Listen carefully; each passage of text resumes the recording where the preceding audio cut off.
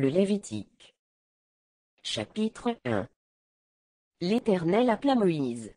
De la tente d'assignation, il lui parla et dit, Parle aux enfants d'Israël, et dis-leur, Lorsque quelqu'un d'entre vous fera une offrande à l'Éternel, il offrira du bétail, du gros ou du menu bétail.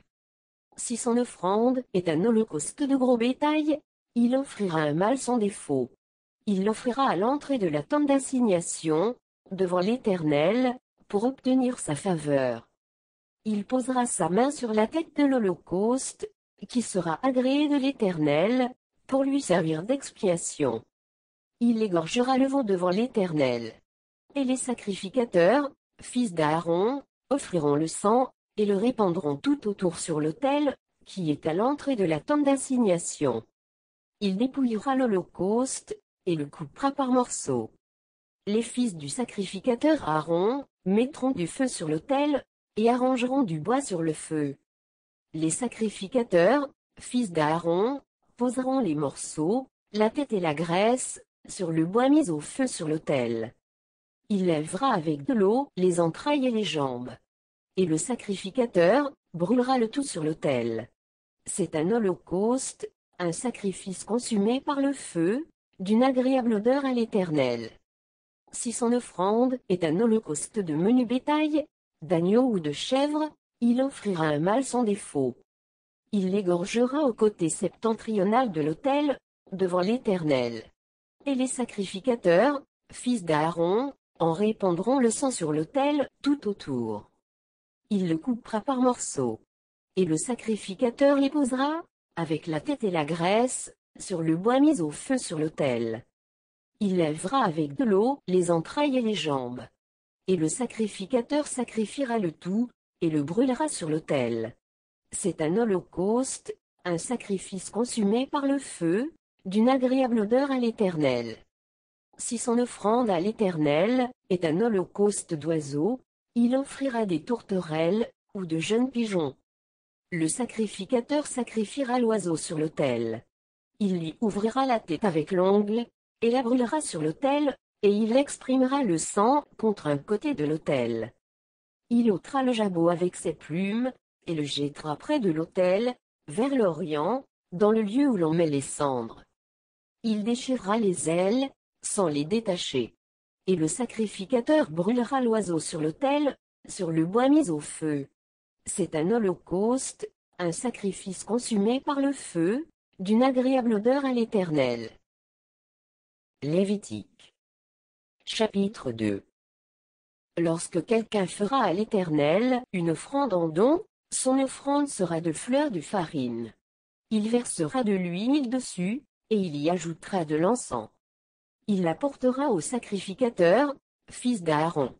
Le sacrificateur prendra une poignée de cette fleur de farine, arrosée d'huile, avec tout l'encens, et il brûlera cela sur l'autel comme souvenir, c'est une offrande d'une agréable odeur à l'Éternel. Ce qui restera de l'offrande sera pour Aaron, et pour ses fils. C'est une chose très sainte, parmi les offrandes consumées par le feu devant l'Éternel. Si tu fais une offrande de ce qui est cuit au four, qu'on se serve de fleurs de farine, et que ce soit des gâteaux, sans levain pétris à l'huile, et des galettes sans levain arrosées d'huile. Si ton offrande est un gâteau cuit à la poêle, il sera de fleurs de farine pétrie à l'huile, sans levain. Tu le rompras en morceaux, et tu verseras de l'huile dessus. C'est une offrande. Si ton offrande est un gâteau cuit sur le grill, il sera fait de fleurs de farine pétrie à l'huile. Tu apporteras l'offrande qui sera faite à l'Éternel avec ces choses-là. Elle sera remise au sacrificateur, qui la présentera sur l'autel. Le sacrificateur en prélèvera ce qui doit être offert comme souvenir, et le brûlera sur l'autel. C'est une offrande d'une agréable odeur à l'Éternel. Ce qui restera de l'offrande sera pour Aaron, et pour ses fils. C'est une chose très sainte, parmi les offrandes consumées par le feu devant l'Éternel. Aucune des offrandes que vous présenterez à l'Éternel ne sera faite avec du levain.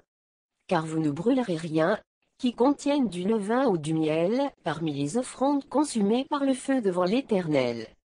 vous pourrez en offrir à l'Éternel, comme offrande des prémices. Mais il n'en sera point présenté sur l'autel, comme offrande d'une agréable odeur. Tu mettras du sel sur toutes tes offrandes. Tu ne laisseras point ton offrande manquer de sel, signe de l'alliance de ton Dieu. Sur toutes tes offrandes, tu mettras du sel. Si tu fais à l'Éternel une offrande des prémices, tu présenteras des épis nouveaux, rôtis au feu et broyés, comme offrande de tes prémices. Tu verseras de l'huile dessus, et tu y ajouteras de l'encens. C'est une offrande. Le sacrificateur brûlera comme souvenir une portion des épis broyés et de l'huile, avec tout l'encens. C'est une offrande consumée par le feu devant l'Éternel. Lévitique. Chapitre 3 Lorsque quelqu'un offrira à l'Éternel un sacrifice d'action de grâce, s'il offre du gros bétail, mâle ou femelle, il l'offrira sans défaut, devant l'Éternel. Il posera sa main sur la tête de la victime, qu'il égorgera à l'entrée de la tente d'assignation. Et les sacrificateurs, fils d'Aaron, répandront le sang sur l'autel, tout autour. De ce sacrifice d'action de grâce, il offrira en sacrifice, consumé par le feu devant l'Éternel, la graisse qui couvre les entrailles, et toute celle qui est attachée. Les deux rognons, et la graisse qui les entoure, qui couvre les flancs, et le grand lobe du foie, qu'il détachera près des rognons. Les fils d'Aaron brûleront cela sur l'autel, par-dessus l'holocauste qui sera sur le bois, mis au feu. C'est un sacrifice consumé par le feu, d'une agréable odeur à l'Éternel. S'il offre du menu bétail, mâle ou femelle, en sacrifice d'action de grâce à l'Éternel, il l'offrira sans défaut. S'il offre en sacrifice un agneau, il le présentera devant l'Éternel. Il posera sa main sur la tête de la victime, qu'il égorgera devant la tente d'assignation. Et les fils d'Aaron répandront le sang sur l'autel, tout autour. De ce sacrifice d'action de grâce, il offrira en sacrifice, consumé par le feu devant l'Éternel, la graisse, la queue entière, qu'il sépare près de l'échine, la graisse qui couvre les entrailles, et toute celle qui est attachée, les deux rognons, et la graisse qui les entoure, qui couvre les flancs, et le grand lobe du foie, qu'il détachera près des rognons. Le sacrificateur brûlera cela sur l'autel. C'est l'aliment d'un sacrifice, consumé par le feu devant l'Éternel. Si son offrande est une chèvre, il la présentera devant l'Éternel. Il posera sa main sur la tête de sa victime, qu'il égorgera devant la tente d'assignation. Et les fils d'Aaron répandront le sang sur l'autel, tout autour. De la victime, il offrira en sacrifice, consumé par le feu devant l'Éternel, la graisse qui couvre les entrailles, et toute celle qui est attachée, les deux rognons, et la graisse qui les entoure, qui couvre les flancs, et le grand lobe du foie, qu'il détachera près des rognons. Le sacrificateur brûlera cela sur l'autel. Toute la graisse est l'aliment d'un sacrifice consumé par le feu, d'une agréable odeur à l'Éternel. C'est ici une loi perpétuelle pour vos descendants, dans tous les lieux où vous habiterez, vous ne mangerez ni graisse, ni sang. Lévitique. Chapitre 4 L'Éternel parla à Moïse, et dit, Parle aux enfants d'Israël, et dit, Lorsque quelqu'un péchera involontairement, contre l'un des commandements de l'Éternel, en faisant des choses qui ne doivent point se faire. Si c'est le sacrificateur, ayant reçu l'onction, qui a péché, et a rendu par là le peuple coupable, il offrira à l'Éternel, pour le péché qu'il a commis, un jeune taureau sans défaut, en sacrifice d'expiation. Il amènera le taureau à l'entrée de la tente d'assignation, devant l'Éternel. Et il posera sa main sur la tête du taureau, qu'il égorgera devant l'Éternel. Le sacrificateur ayant reçu l'onction, prendra du sang du taureau, et l'apportera dans la tente d'assignation. Il trempera son doigt dans le sang, et il en fera cette fois l'aspersion devant l'Éternel, en face du voile du sanctuaire. Le sacrificateur mettra du sang, sur les cornes de l'autel des parfums odoriférants, qui est devant l'Éternel dans la tente d'assignation. Et il répandra tout le sang du taureau, au pied de l'autel des holocaustes, qui est à l'entrée de la tente d'assignation.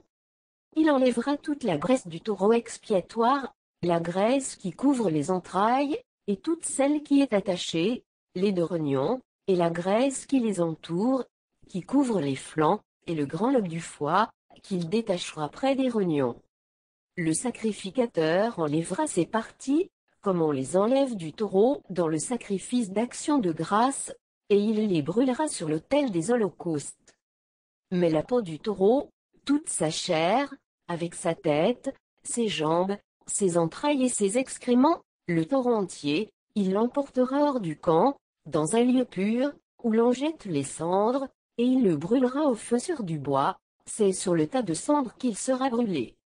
Si c'est toute l'assemblée d'Israël, qui a péché involontairement et sans s'en apercevoir, en faisant contre l'un des commandements de l'Éternel des choses, qui ne doivent point se faire, et en se rendant ainsi coupable, et que le péché qu'on a commis vienne à être découvert, l'assemblée offrira un jeune taureau en sacrifice d'expiation, et on l'amènera devant la tente d'assignation. Les anciens d'Israël poseront leurs mains sur la tête du taureau devant l'Éternel, et on égorgera le taureau devant l'Éternel. Le sacrificateur ayant reçu l'onction, apportera du sang du taureau dans la tente d'assignation. Il trempera son doigt dans le sang, et il en fera sept fois l'aspersion devant l'Éternel, en face du voile. Il mettra du sang sur les cornes de l'autel, qui est devant l'Éternel dans la tente d'assignation. Et il répandra tout le sang au pied de l'autel des holocaustes, qui est à l'entrée de la tente d'assignation. Il enlèvera toute la graisse du taureau, et il la brûlera sur l'autel. Il fera de ce taureau comme du taureau expiatoire. Il fera de même. C'est ainsi que le sacrificateur fera pour eux l'expiation, et il leur sera pardonné. Il emportera le taureau hors du camp, et il le brûlera comme le premier taureau. C'est un sacrifice d'expiation pour l'assemblée. Si c'est un chef qui a péché, en faisant involontairement contre l'un des commandements de l'Éternel, son Dieu, des choses qui ne doivent point se faire, et en se rendant ainsi coupable, et qu'il vienne à découvrir le péché qu'il a commis, il offrira en sacrifice un bouc mâle sans défaut. Il posera sa main sur la tête du bouc, qu'il égorgera dans le lieu où l'on égorge les holocaustes devant l'Éternel.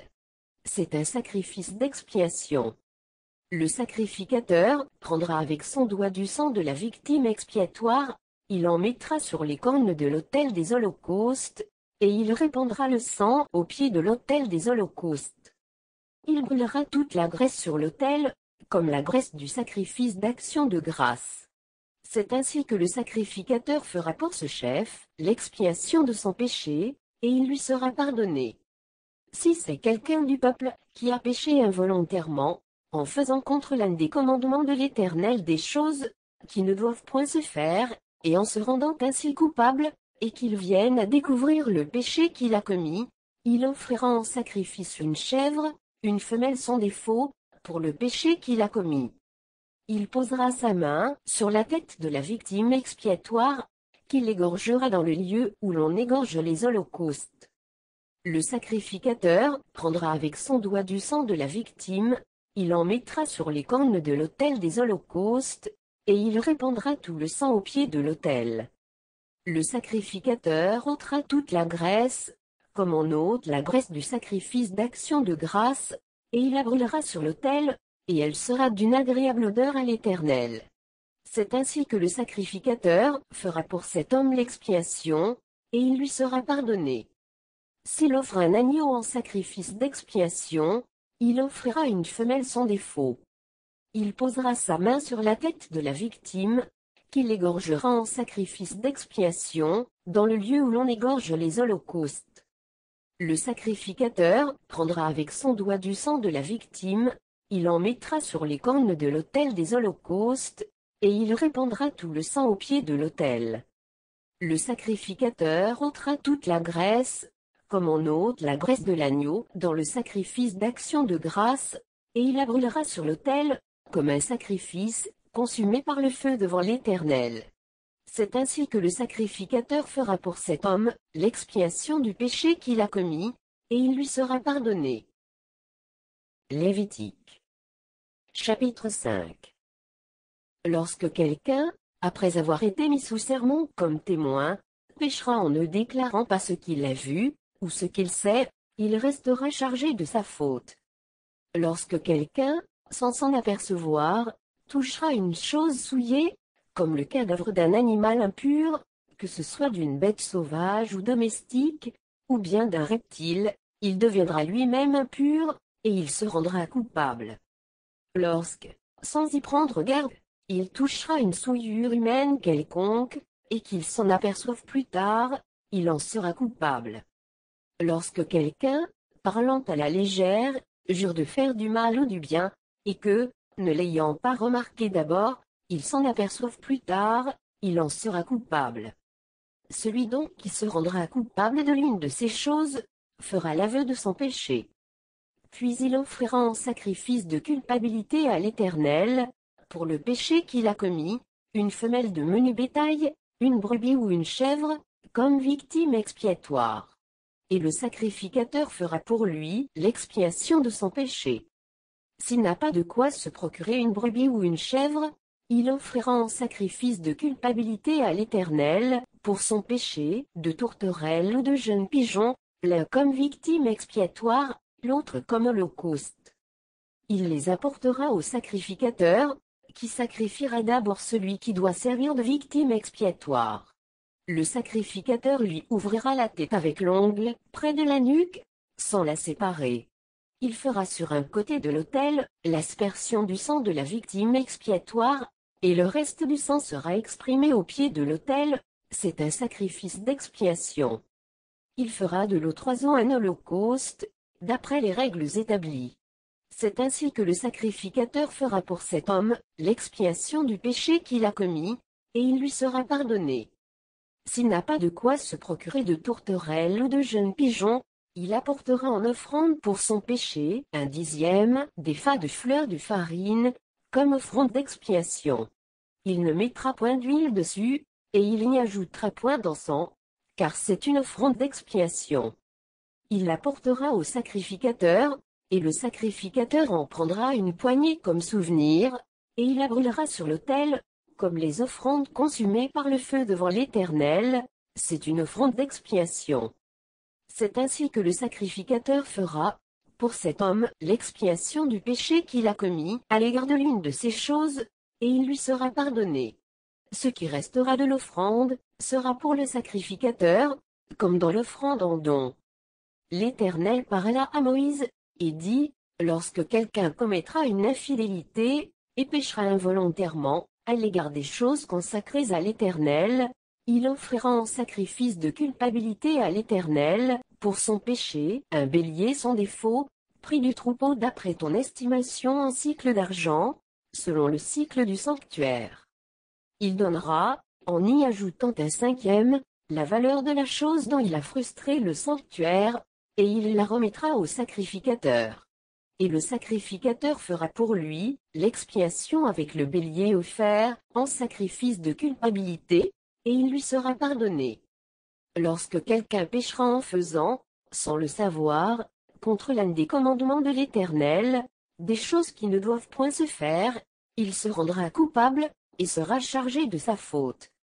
Il présentera au sacrificateur en sacrifice de culpabilité un bélier sans défaut, pris du troupeau d'après ton estimation. Et le sacrificateur fera pour lui l'expiation de la faute qu'il a commise sans le savoir, et il lui sera pardonné. C'est un sacrifice de culpabilité. Cet homme s'était rendu coupable envers l'Éternel. L'Éternel parla à Moïse, et dit, Lorsque quelqu'un péchera et commettra une infidélité envers l'Éternel, en mentant à son prochain au sujet d'un dépôt, d'un objet confié à sa garde, d'une chose volée ou soustraite par fraude, en y en avoir trouvé une chose perdue, ou en faisant un faux serment sur une chose quelconque de nature à constituer un péché. Lorsqu'il péchera ainsi et se rendra coupable, il restituera la chose qu'il a volée ou soustraite par fraude la chose qui lui avait été confiée en dépôt, la chose perdue qu'il a trouvée, ou la chose quelconque sur laquelle il a fait un faux serment. Il la restituera en son entier, y ajoutera un cinquième, et la remettra à son propriétaire, le jour même où il offrira son sacrifice de culpabilité. Il présentera au sacrificateur en sacrifice de culpabilité à l'Éternel, pour son péché, un bélier sans défaut, pris du troupeau d'après ton estimation. Et le sacrificateur fera pour lui l'expiation devant l'Éternel, et il lui sera pardonné, quelle que soit la faute dont il se sera rendu coupable. Lévitique Chapitre 6 L'Éternel parla à Moïse, et dit, Donne cet ordre à Aaron et à ses fils, et dit, Voici la loi de l'Holocauste. L'Holocauste restera sur le foyer de l'autel toute la nuit jusqu'au matin, et le feu brûlera sur l'autel. Le sacrificateur revêtira sa tunique de lin, et mettra des caleçons sur sa chair, il enlèvera la cendre faite par le feu, qui aura consumé l'Holocauste sur l'autel, et il la déposera près de l'autel. Puis il quittera ses vêtements, et en mettra d'autres, pour porter la cendre hors du camp, dans un lieu pur. Le feu brûlera sur l'autel, il ne s'éteindra point. Chaque matin, le sacrificateur y allumera du bois, arrangera l'holocauste, et brûlera la graisse des sacrifices d'action de grâce. Le feu brûlera continuellement sur l'autel, il ne s'éteindra point. Voici la loi de l'offrande. Les fils d'Aaron la présenteront devant l'Éternel, devant l'autel. Le sacrificateur prélèvera une poignée de la fleur de farine, et de l'huile, avec tout l'encens ajouté à l'offrande, et il brûlera cela sur l'autel, comme souvenir d'une agréable odeur à l'Éternel. Aaron et ses fils mangeront ce qui restera de l'offrande.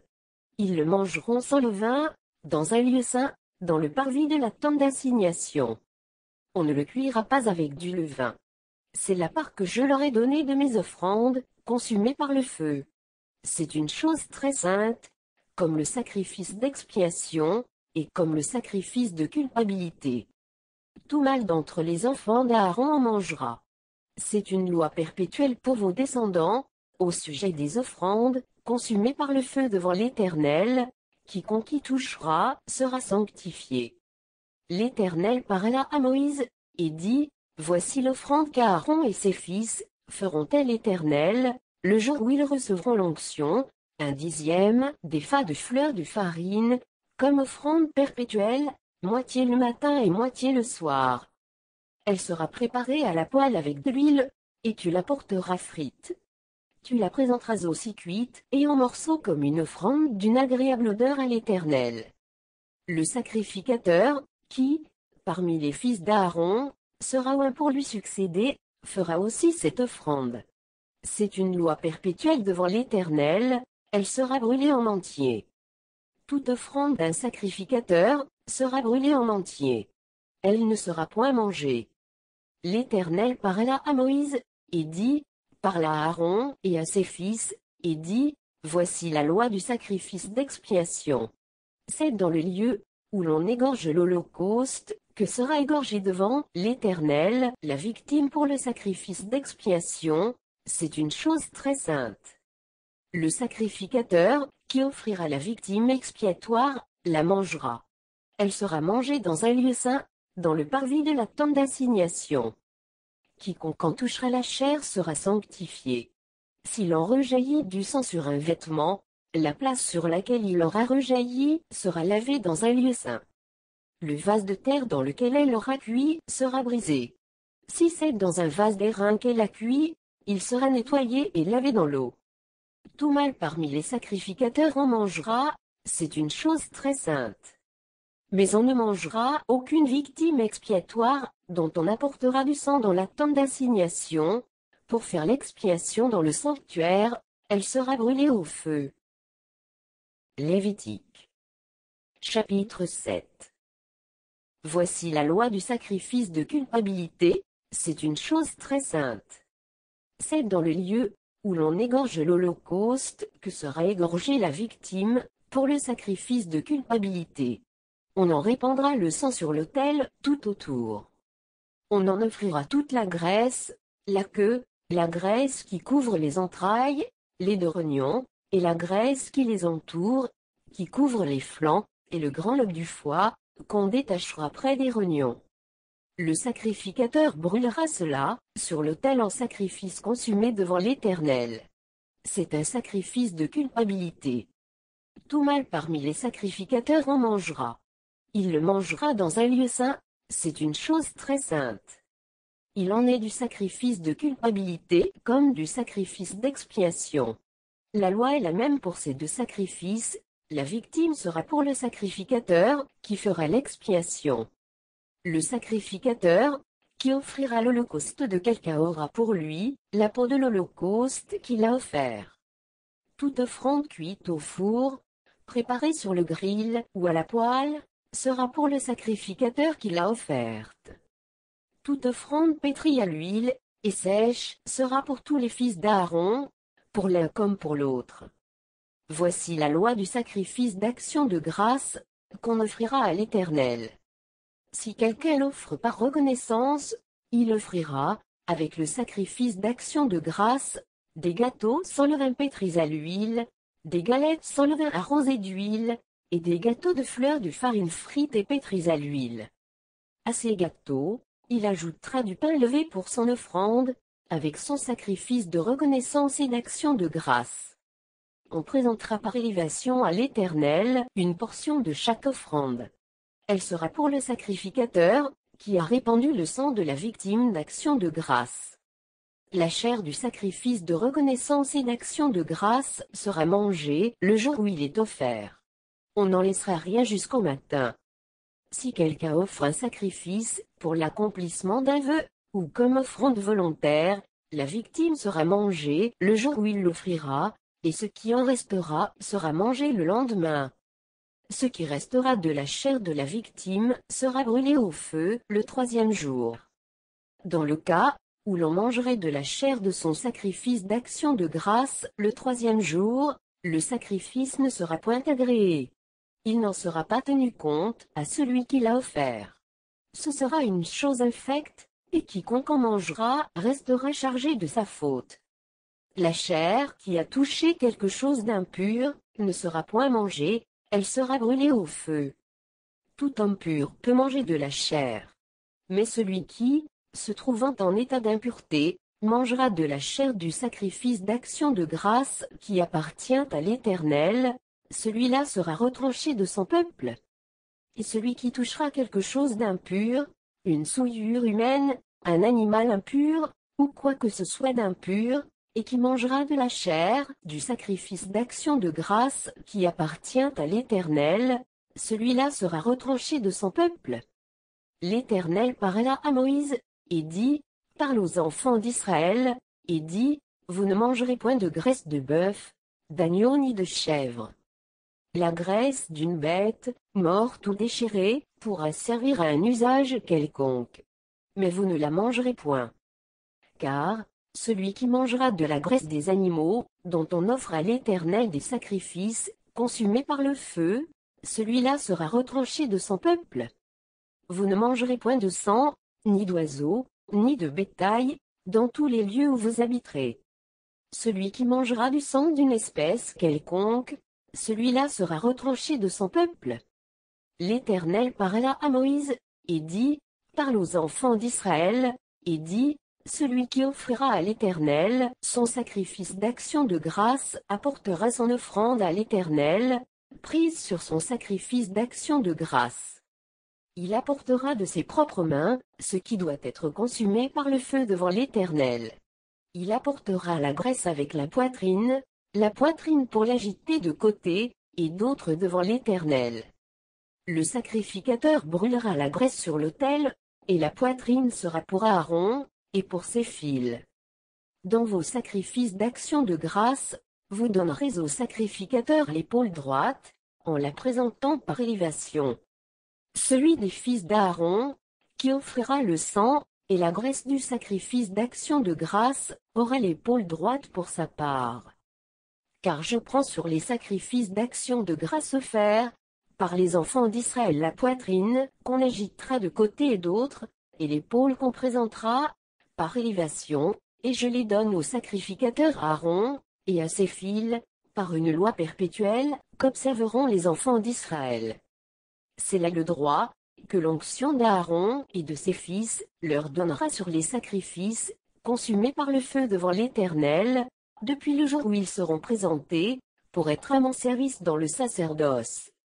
C'est ce que l'Éternel ordonne aux enfants d'Israël, de leur donner depuis le jour de leur onction. Ce sera une loi perpétuelle, parmi leurs descendants. Telle est la loi de l'Holocauste, de l'offrande, du sacrifice d'expiation, du sacrifice de culpabilité, de la consécration, et du sacrifice d'action de grâce. L'Éternel la prescrivit à Moïse sur la montagne de Sinaï, le jour où il ordonna aux enfants d'Israël de présenter leurs offrandes à l'Éternel dans le désert du Sinaï.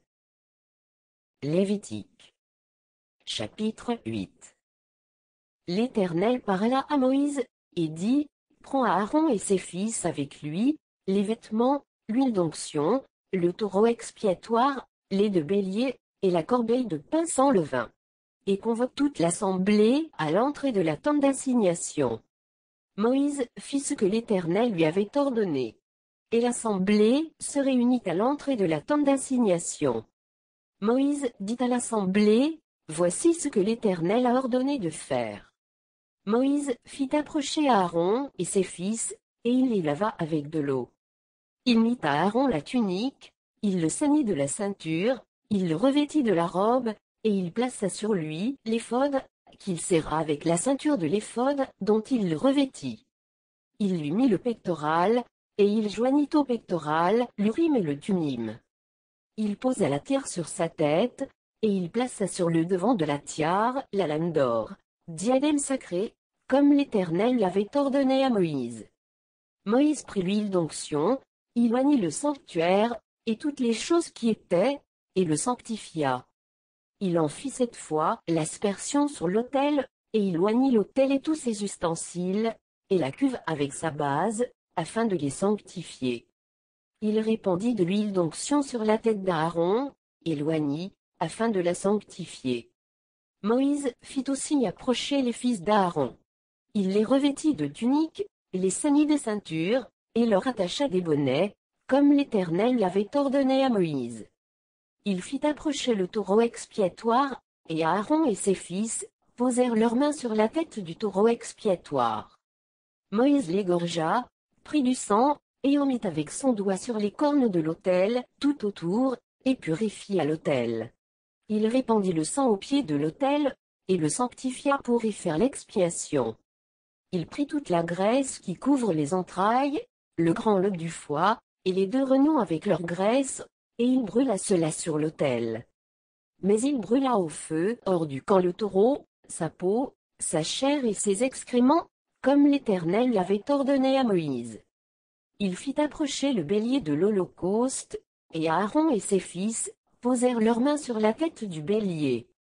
Moïse l'égorgea, et répandit le sang sur l'autel, tout autour. Il coupa le bélier par morceaux, et il brûla la tête, les morceaux et la graisse.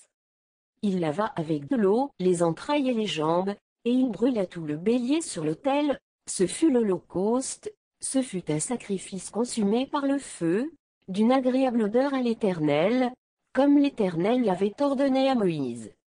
Il fit approcher l'autre bélier, le bélier de consécration, et Aaron et ses fils posèrent leurs mains sur la tête du bélier. Moïse égorgea le bélier, prit de son sang, en mit sur le lobe de l'oreille droite d'Aaron, sur le pouce de sa main droite, et sur le gros orteil de son pied droit. Il fit approcher les fils d'Aaron, mit du sang sur le lobe de leur oreille droite, sur le pouce de leur main droite, et sur le gros orteil de leur pied droit, et il répandit le sang sur l'autel, tout autour. Il prit la graisse, la queue, toute la graisse qui couvre les entrailles, le grand lobe du foie, les deux rognons avec leur graisse, et l'épaule droite. Il prit aussi dans la corbeille de pain sans levain, placé devant l'Éternel, un gâteau sans levain, un gâteau de pain à l'huile et une galette, et il les posa sur les graisses et sur l'épaule droite. Il mit toutes ces choses sur les mains d'Aaron, et sur les mains de ses fils, et il les agita de côté, et d'autres devant l'Éternel. Puis Moïse les ôta de leurs mains, et il les brûla sur l'autel, par-dessus l'Holocauste, Ce fut le sacrifice de consécration, ce fut un sacrifice consumé par le feu, d'une agréable odeur à l'Éternel. Moïse prit la poitrine du bélier de consécration, et il agita de côté, et d'autre devant l'Éternel, ce fut la portion de Moïse, comme l'Éternel l'avait ordonné à Moïse. Moïse prit de l'huile d'onction et du sang qui était sur l'autel. Il en fit l'aspersion sur Aaron, et sur ses vêtements, sur les fils d'Aaron, et sur leurs vêtements. Et il sanctifia Aaron, et ses vêtements, les fils d'Aaron, et leurs vêtements avec lui. Moïse dit à Aaron et à ses fils, Faites cuire la chair à l'entrée de la tente d'assignation. C'est là que vous la mangerez, avec le pain qui est dans la corbeille de consécration, comme je l'ai ordonné, en disant, Aaron et ses fils la mangeront. Vous brûlerez dans le feu ce qui restera de la chair et du pain. Pendant sept jours, vous ne sortirez point de l'entrée de la tente d'assignation, jusqu'à ce que les jours de votre consécration soient accomplis. Car sept jours seront employés à vous consacrer. Ce qui s'est fait aujourd'hui, l'Éternel a ordonné de le faire comme expiation pour vous. Vous resterez donc sept jours à l'entrée de la tente d'assignation, jour et nuit, et vous observerez les commandements de l'Éternel, afin que vous ne mouriez pas. Car c'est là ce qui m'a été ordonné. Aaron et ses fils firent toutes les choses que l'Éternel avait ordonnées par Moïse. Lévitique Chapitre 9 Le huitième jour, Moïse appela Aaron et ses fils, et les anciens d'Israël. Il dit à Aaron, Prends un jeune veau pour le sacrifice d'expiation, et un bélier pour l'holocauste, l'un et l'autre sans défaut, et sacrifie-les devant l'Éternel. Tu parleras aux enfants d'Israël, et tu diras, prenez un bouc, pour le sacrifice d'expiation, un veau et un agneau, âgés d'un an et sans défaut, pour l'Holocauste. Un bœuf et un bélier, pour le sacrifice d'action de grâce, afin de les sacrifier devant l'Éternel. Et une offrande pétrie à l'huile. Car aujourd'hui l'Éternel vous apparaîtra. Ils amenèrent devant la tente d'assignation, ce que Moïse avait ordonné. Et toute l'assemblée s'approcha, et se tint devant l'Éternel. Moïse dit, Vous ferez ce que l'Éternel a ordonné. Et la gloire de l'Éternel vous apparaîtra. Moïse dit à Aaron, Approche-toi de l'autel.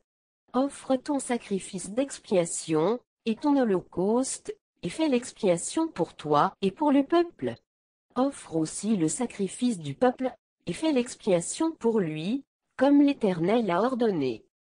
Aaron s'approcha de l'autel, et il égorgea le veau, pour son sacrifice d'expiation. Les fils d'Aaron lui présentèrent le sang. Il trempa son doigt dans le sang, en mit sur les cornes de l'autel, et répandit le sang au pied de l'autel. Il brûla sur l'autel la graisse, les rognons, et le grand lobe du foie de la victime expiatoire, comme l'Éternel l'avait ordonné à Moïse. Mais il brûla au feu, hors du camp, la chair et la peau. Il égorgea l'Holocauste. Les fils d'Aaron lui présentèrent le sang, et il le répandit sur l'autel, tout autour.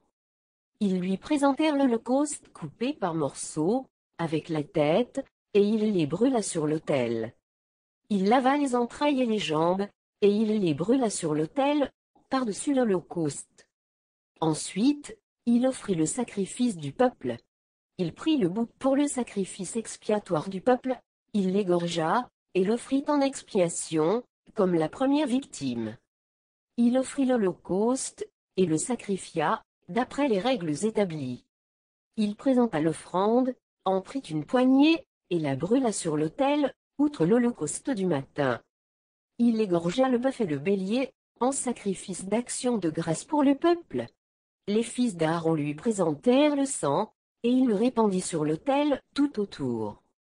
Ils lui présentèrent la graisse du bœuf et du bélier, la queue, la graisse qui couvre les entrailles, les rognons, et le grand lobe du foie. Ils mirent les graisses sur les poitrines, et il brûla les graisses sur l'autel. Aaron agita de côté et d'autre devant l'Éternel les poitrines et l'épaule droite, comme Moïse l'avait ordonné. Aaron leva ses mains vers le peuple, et il le bénit.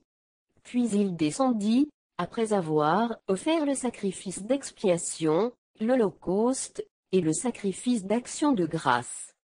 Moïse et Aaron entrèrent dans la tente d'assignation. Lorsqu'ils en sortirent, ils bénirent le peuple. Et la gloire de l'Éternel apparut à tout le peuple. Le feu sortit de devant l'Éternel, et consuma sur l'autel l'Holocauste et les graisses. Tout le peuple le vit. Et ils poussèrent des cris de joie, et se jetèrent sur leurs faces. Lévitique. Chapitre 10 Les fils d'Aaron, Nadab et Abu, prirent chacun un brasier, y mirent du feu, et posèrent du parfum dessus. Ils apportèrent devant l'Éternel du feu étranger, ce qu'il ne leur avait point ordonné. Alors le feu sortit de devant l'Éternel, et les consuma, ils moururent devant l'Éternel. Moïse dit à Aaron, C'est ce que l'Éternel a déclaré, lorsqu'il a dit, Je serai sanctifié, par ce qui s'approche de moi, et je serai glorifié en présence de tout le peuple. Aaron garda le silence. Et Moïse appela Michaël et Eltsaphan, fils d'Uziel, oncle d'Aaron, et il leur dit, Approchez-vous, emportez vos frères loin du sanctuaire, hors du camp. Ils s'approchèrent, et ils les emportèrent dans leurs tuniques, hors du camp, comme Moïse l'avait dit. Moïse dit à Aaron, à Éléazar, et à Itamar, fils d'Aaron, vous ne découvrirez point vos têtes, et vous ne déchirerez point vos vêtements, de peur que vous ne mouriez, et que l'Éternel ne s'irrite contre toute l'assemblée. Laissez vos frères, toute la maison d'Israël, pleurer sur l'embrasement que l'Éternel a allumé.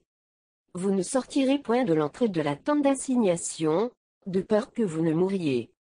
Car l'huile de l'onction de l'Éternel est sur vous. Ils firent ce que Moïse avait dit. L'Éternel parla à Aaron, et dit, Tu ne boiras ni vin, ni boisson enivrante, toi et tes fils avec toi, lorsque vous entrerez dans la tente d'assignation, de peur que vous ne mouriez, ce sera une loi perpétuelle, parmi vos descendants, afin que vous puissiez distinguer ce qui est saint de ce qui est profane, ce qui est impur de ce qui est pur, et enseigner aux enfants d'Israël toutes les lois que l'Éternel leur a données par Moïse. Moïse dit à Aaron, à Éléazar, et à Itamar, les deux fils qui restaient à Aaron, prenez ce qui reste de l'offrande, parmi les sacrifices consumés par le feu devant l'Éternel, et mangez le sang le vin près de l'autel, car c'est une chose très sainte vous le mangerez dans un lieu saint. C'est ton droit, et le droit de tes fils sur les offrandes consumées, par le feu devant l'Éternel. Car c'est là ce qui m'a été ordonné. Vous mangerez aussi dans un lieu pur, toi, tes fils et tes filles avec toi, la poitrine qu'on a agitée de côté et d'autre, et l'épaule, qui a été présentée par élévation. Car elles vous sont données, comme ton droit, et le droit de tes fils, dans les sacrifices d'action de grâce des enfants d'Israël. Ils apporteront, avec les graisses destinées à être consumées par le feu, l'épaule que l'on présente par élévation et la poitrine, que l'on agite de côté, et d'autres devant l'Éternel, elles seront pour toi, et pour tes fils avec toi, par une loi perpétuelle, comme l'Éternel a ordonné. Moïse chercha le bouc expiatoire. Et voici, il avait été brûlé. Alors il s'irrita contre Éléazar et Itamar, les fils qui restaient à Aaron, et il dit, Pourquoi n'avez-vous pas mangé la victime expiatoire dans le lieu saint? C'est une chose très sainte. Et l'Éternel vous l'a donnée, afin que vous portiez l'iniquité de l'assemblée, afin que vous fassiez pour elle l'expiation devant l'Éternel. Voici, le sang de la victime n'a point été porté dans l'intérieur du sanctuaire. Vous deviez la manger dans le sanctuaire, comme cela m'avait été ordonné. Aaron dit à Moïse, Voici, ils ont offert aujourd'hui leur sacrifice d'expiation, et leur holocauste devant l'Éternel. Et, après ce qui m'est arrivé, si j'eusse mangé aujourd'hui la victime expiatoire, cela aurait-il été bien aux yeux de l'Éternel? Moïse entendit et approuva ces paroles. Lévitique. Chapitre 11 L'Éternel parla à Moïse et à Aaron, et leur dit, Parlez aux enfants d'Israël, et dites, Voici les animaux dont vous mangerez parmi toutes les bêtes qui sont sur la terre. Vous mangerez de tout animal qui a la corne fondue, le pied fourchu, et qui rumine. Mais vous ne mangerez pas de ceux qui ruminent seulement, ou qui ont la corne fendue seulement. Ainsi, vous ne mangerez pas le chameau, qui rumine, mais qui n'a pas la corne fondue, vous le regarderez comme impur. Vous ne mangerez pas le daman, qui rumine, mais qui n'a pas la corne fondue, vous le regarderez comme impur. Vous ne mangerez pas le lièvre, qui rumine, mais qui n'a pas la corne fondue, vous le regarderez comme impur. Vous ne mangerez pas le porc, qui a la corne fendue et le pied fourchu, mais qui ne rumine pas, vous le regarderez comme impur. Vous ne mangerez pas de leur chair, et vous ne toucherez pas leur corps mort, vous les regarderez comme impurs. Voici les animaux dont vous mangerez parmi tous ceux qui sont dans les eaux. Vous mangerez de tous ceux qui ont des nageoires et des écailles, et qui sont dans les eaux, soit dans les mers, soit dans les rivières. Mais vous aurez en abomination tous ceux qui n'ont pas des nageoires et des écailles, parmi tous ceux qui se meulent dans les eaux, et tout ce qui est vivant dans les eaux, soit dans les mers, soit dans les rivières. Vous les aurez en abomination, vous ne mangerez pas de leur chair, et vous aurez en abomination leur corps mort. Vous aurez en abomination tous ceux qui, dans les eaux, n'ont pas des nageoires et des écailles. Voici, parmi les oiseaux, ce que vous aurez en abomination, et dont on ne mangera pas, l'aigle, l'orfraie et l'aigle de mer. Le milan, l'autour et ce qui est de son espèce. Le corbeau et toutes ses espèces. L'autruche, le hibou, la mouette, l'épervier, et ce qui est de son espèce. Le chat-huant, le plongeon et la chouette. Le cygne, le pélican et le cormoran. La cigogne, le héron, et ce qui est de son espèce, la huppe et la chauve-souris. Vous aurez en abomination tout reptile qui vole, et qui marche sur quatre pieds. Mais, parmi tous les reptiles qui volent, et qui marchent sur quatre pieds, vous mangerez ceux qui ont des jambes au-dessus de leurs pieds, pour sauter sur la terre. Voici ce que vous mangerez, la sauterelle, le solame, le argol et le agabe, selon leurs espèces. Vous aurez en abomination tous les autres reptiles qui volent, et qui ont quatre pieds. Ils vous rendront impurs, quiconque touchera leur corps mort, sera impur jusqu'au soir, et quiconque portera leur corps mort, lèvera ses vêtements, et sera impur jusqu'au soir. Vous regarderez comme impur tout animal qui a la corne fondue, mais qui n'a pas le pied fourchu, et qui ne rumine pas, quiconque le touchera, sera impur. Vous regarderez comme impurs tous ceux des animaux à quatre pieds qui marchent sur leurs pattes. Quiconque touchera leur corps mort sera impur jusqu'au soir, et quiconque portera leur corps mort lèvera ses vêtements, et sera impur jusqu'au soir. Vous les regarderez comme impurs. Voici, parmi les animaux qui rentrent sur la terre, ce que vous regarderez comme impurs, la taupe, la souris et le lézard, selon leurs espèces. Le hérisson, la grenouille, la tortue, le limaçon et le caméléon. Vous les regarderez comme impurs parmi tous les reptiles, quiconque les touchera mort, sera impur jusqu'au soir. Tout objet sur lequel tombera quelque chose de leur corps mort, sera souillé, ustensiles de bois, vêtements, peau, sac, tout objet dont on fait usage. Il sera mis dans l'eau, et restera souillé jusqu'au soir. Après quoi, il sera pur tout ce qui se trouvera dans un vase de terre, où il en tombera quelque chose, sera souillé, et vous briserez le vase. Tout aliment qui sert à la nourriture, et sur lequel il sera tombé de cette eau, sera souillé. Et toute boisson dont on fait usage, quel que soit le vase qui la contienne, sera souillé. Tout objet sur lequel tombera quelque chose de leur corps mort, sera souillé. Le four et le foyer seront détruits, ils seront souillés, et vous les regarderez comme souillés. Il n'y aura que les sources et les citernes, formant des amas d'eau, qui resteront purs. Mais celui qui touchera de leur corps mort, sera impur. S'il tombe quelque chose de leur corps mort sur une semence, qui doit être semée, elle restera pure. Mais si l'on a mis de l'eau sur la semence, et qu'il y tombe quelque chose de leur corps mort, vous la regarderez comme souillée. S'il meurt un des animaux qui vous servent de nourriture, celui qui touchera son corps mort sera impur jusqu'au soir. Celui qui mangera de son corps mort lèvera ses vêtements, et sera impur jusqu'au soir, et celui qui portera son corps mort lèvera ses vêtements, et sera impur jusqu'au soir. Vous aurez en abomination tout reptile qui rampe sur la terre, on n'en mangera point. Vous ne mangerez point, parmi tous les reptiles qui rampent sur la terre, de tout ce qui se traîne sur le ventre, ni de tous ceux qui marchent sur quatre pieds, ou sur un grand nombre de pieds.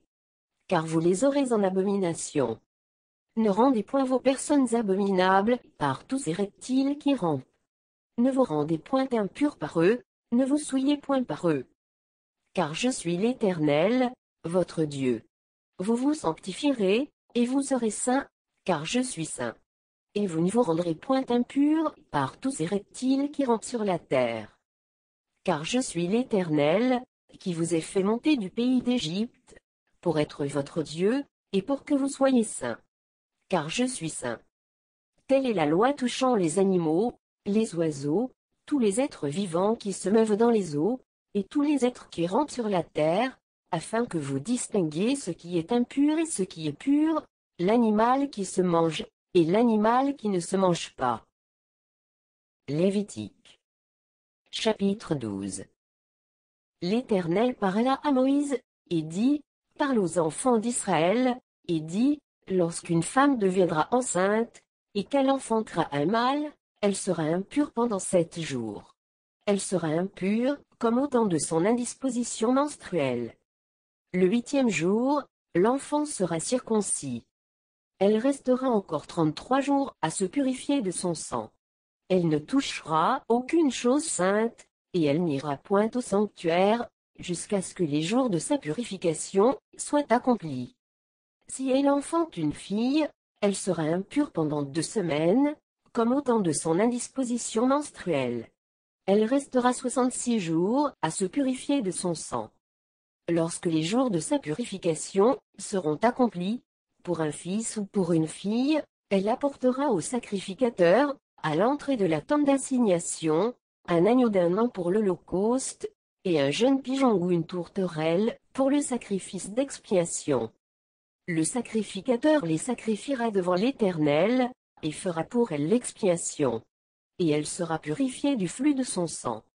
Telle est la loi pour la femme qui enfante un fils ou une fille. Si elle n'a pas de quoi se procurer un agneau, elle prendra deux tourterelles ou deux jeunes pigeons, l'un pour l'Holocauste, l'autre pour le sacrifice d'expiation. Le sacrificateur fera pour elle l'expiation, et elle sera pure. Lévitique. Chapitre 13 L'Éternel parla à Moïse et à Aaron, et dit, Lorsqu'un homme aura sur la peau de son corps une tumeur, une dartre, ou une tache blanche, qui ressemblera à une plaie de lèpre, sur la peau de son corps, on l'amènera au sacrificateur Aaron, ou à l'un de ses fils qui sont sacrificateurs. Le sacrificateur examinera la plaie qui est sur la peau du corps. Si le poil de la plaie est devenu blanc, et que la plaie paraisse plus profonde que la peau du corps, c'est une plaie de lèpre, le sacrificateur qui aura fait l'examen, déclara cet homme impur. S'il y a sur la peau du corps une tache blanche, qui ne paraisse pas plus profonde que la peau, et que le poil ne soit pas devenu blanc, le sacrificateur enfermera pendant sept jours celui qui a la plaie. Le sacrificateur l'examinera le septième jour. Si la plaie lui paraît ne pas avoir fait de progrès, et ne pas s'être étendue, sur la peau, le sacrificateur l'enfermera une seconde fois, pendant sept jours. Le sacrificateur l'examinera une seconde fois, le septième jour. Si la plaie est devenue pâle, et ne s'est pas étendue sur la peau, le sacrificateur déclara cet homme pur, c'est une dartre. Il lèvera ses vêtements, et il sera pur. Mais si la dartre s'est étendue sur la peau, après qu'il s'est montré au sacrificateur, pour être déclaré pur, il se fera examiner une seconde fois par le sacrificateur. Le sacrificateur l'examinera. Si la dartre s'est étendue sur la peau, le sacrificateur le déclarera impur. C'est la lèpre. Lorsqu'il y aura sur un homme une plaie de lèpre, on l'amènera au sacrificateur. Le sacrificateur l'examinera.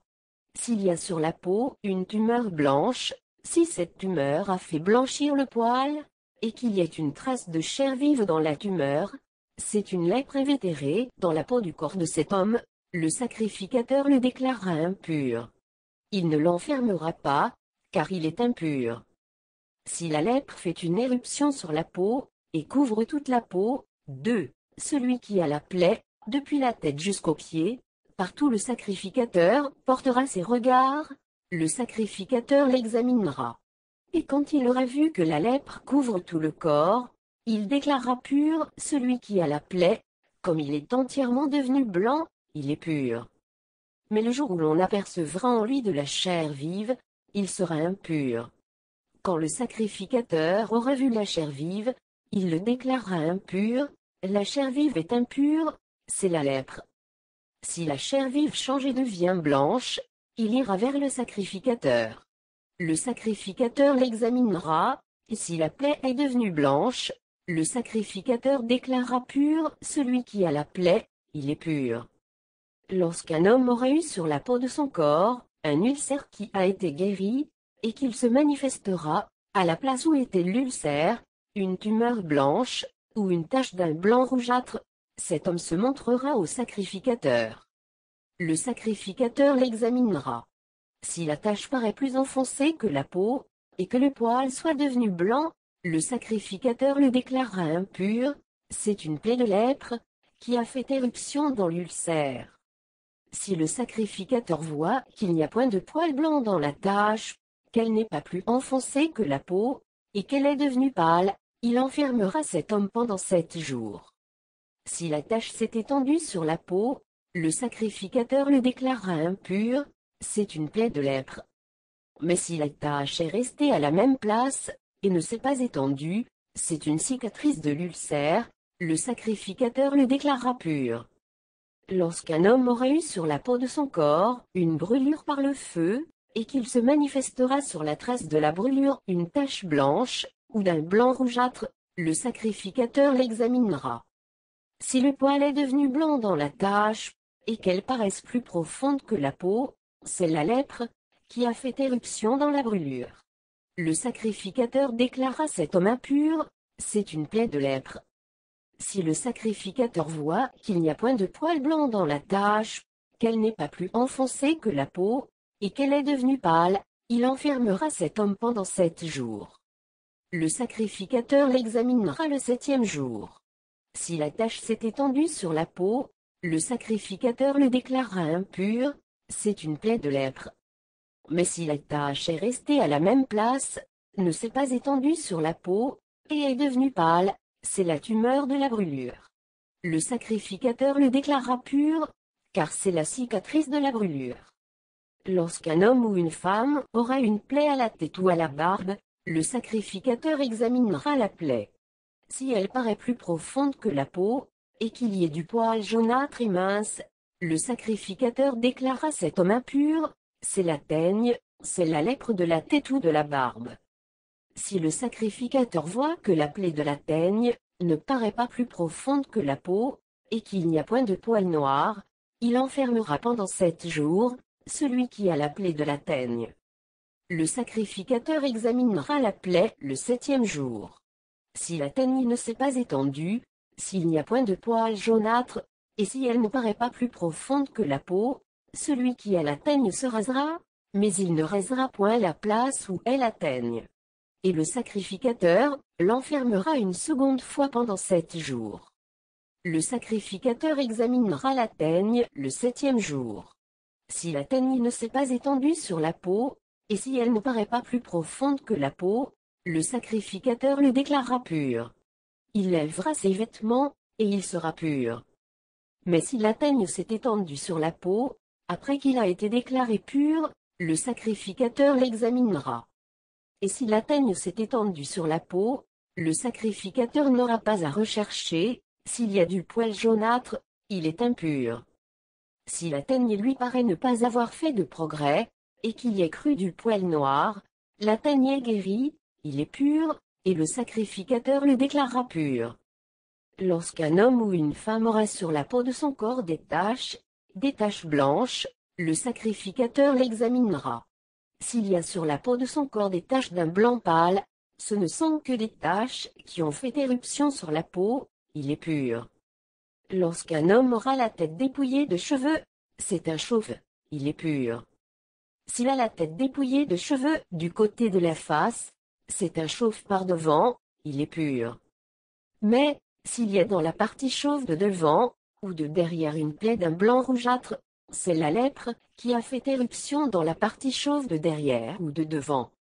Le sacrificateur l'examinera. S'il y a une tumeur de plaie d'un blanc rougeâtre, dans la partie chauve de derrière ou de devant, semblable à la lèpre sur la peau du corps, c'est un homme lépreux, il est impur, le sacrificateur le déclarera impur. C'est à la tête qu'est sa plaie. Le lépreux, atteint de la plaie, portera ses vêtements déchirés, et aura la tête nue. Il se couvrira la barbe, et criera, impur, impur. Aussi longtemps qu'il aura la plaie, il sera impur, il est impur. Il habitera seul. Sa demeure sera hors du camp. Lorsqu'il y aura sur un vêtement une plaie de lèpre, sur un vêtement de laine, ou sur un vêtement de lin, à la chaîne ou à la trame, de lin, ou de laine, sur une peau ou sur quelque ouvrage de peau, et que la plaie sera verdâtre ou rougeâtre sur le vêtement ou sur la peau, à la chaîne ou à la trame, ou sur un objet quelconque de peau, c'est une plaie de lèpre, et elle sera montrée au sacrificateur. Le sacrificateur examinera la plaie, et il enfermera pendant sept jours ce qui en est attaqué. Il examinera la plaie le septième jour. Si la plaie s'est étendue sur le vêtement, à la chaîne ou à la trame, sur la peau ou sur l'ouvrage, quelconque fait de peau, c'est une plaie de lèpre invétérée, l'objet est impur.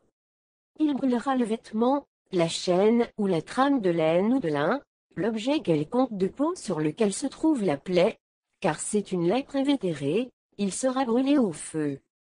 Mais si le sacrificateur voit que la plaie ne s'est pas étendue sur le vêtement, sur la chaîne ou sur la trame, sur l'objet quelconque de peau, il ordonnera qu'on lave ce qui est attaqué de la plaie, et il l'enfermera une seconde fois pendant sept jours. Le sacrificateur examinera la plaie, après qu'elle aura été lavée. Si la plaie n'a pas changé d'aspect, et ne s'est pas étendue, l'objet est impur, il sera brûlé au feu. C'est une partie de l'endroit ou de l'envers, qui a été rongée. Si le sacrificateur voit que la plaie est devenue pâle, après avoir été lavée, il l'arrachera du vêtement ou de la peau, de la chaîne ou de la trame.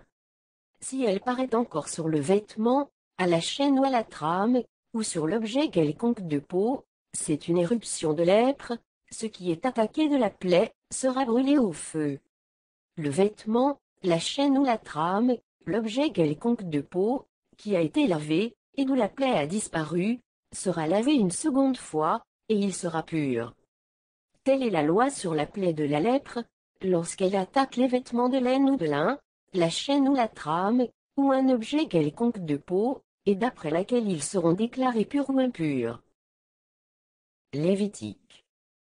Chapitre 14 L'Éternel parla à Moïse, et dit, Voici quelle sera la loi sur le lépreux, pour le jour de sa purification. On l'amènera devant le sacrificateur. Le sacrificateur sortira du camp, et il examinera le lépreux. Si le lépreux est guéri de la plaie de la lèpre, le sacrificateur ordonnera que l'on prenne, pour celui qui doit être purifié, deux oiseaux vivants et purs, du bois de cèdre, du cramoisi et de l'hysope. Le sacrificateur ordonnera qu'on égorge l'un des oiseaux sur un vase de terre, sur de l'eau vive. Il prendra l'oiseau vivant, le bois de cèdre, le cramoisi et l'hysope. Et il les trempera, avec l'oiseau vivant, dans le sang de l'oiseau égorgé sur l'eau vive. Il en fera cette fois l'aspersion sur celui qui doit être purifié de la lèpre. Puis il le déclarera pur, et il lâchera dans les champs l'oiseau vivant. Celui qui se purifie lèvera ses vêtements, rasera tout son poil, et se baignera dans l'eau. Et il sera pur. Ensuite, il pourra entrer dans le camp, mais il restera sept jours hors de sa tente. Le septième jour, il rasera tout son poil, sa tête, sa barbe, ses sourcils, il rasera tout son poil. Il lèvera ses vêtements, et baignera son corps dans l'eau, et il sera pur. Le huitième jour, il prendra deux agneaux sans défaut, et une brebis d'un an sans défaut, trois dixièmes d'un et fa de fleurs de farine en offrande pétrie à l'huile, et un log d'huile. Le sacrificateur qui fait la purification, présentera l'homme qui se purifie, et toutes ces choses devant l'Éternel, à l'entrée de la tente d'assignation. Le sacrificateur prendra l'un des agneaux, et il l'offrira en sacrifice de culpabilité, avec le log d'huile. Il les agitera de côté, et d'autres devant l'Éternel. Il égorgera l'agneau, dans le lieu où l'on égorge les victimes expiatoires et les holocaustes, dans le lieu saint. Car, dans le sacrifice de culpabilité, comme dans le sacrifice d'expiation, la victime est pour le sacrificateur. C'est une chose très sainte. Le sacrificateur prendra du sang de la victime de culpabilité. Il en mettra sur le lobe de l'oreille droite de celui qui se purifie, sur le pouce de sa main droite, et sur le gros orteil de son pied droit. Le sacrificateur prendra du lobe d'huile, et il en versera dans le creux de sa main gauche. Le sacrificateur trempera le doigt de sa main droite dans l'huile, qui est dans le creux de sa main gauche, et il fera avec le doigt, cette fois, l'aspersion de l'huile devant l'Éternel. Le sacrificateur mettra de l'huile, qui lui reste dans la main sur le lobe de l'oreille droite, 2. Celui qui se purifie, sur le pouce de sa main droite, et sur le gros orteil de son pied droit, par-dessus le sang de la victime de culpabilité. Le sacrificateur mettra ce qui lui reste d'huile dans la main sur la tête, 2. Celui qui se purifie. Et le sacrificateur fera pour lui l'expiation devant l'Éternel. Puis le sacrificateur offrira le sacrifice d'expiation. Et il fera l'expiation pour celui qui se purifie de sa souillure. Ensuite, il égorgera l'holocauste. Le sacrificateur offrira sur l'autel l'holocauste et l'offrande et il fera pour cet homme l'expiation, et il sera pur.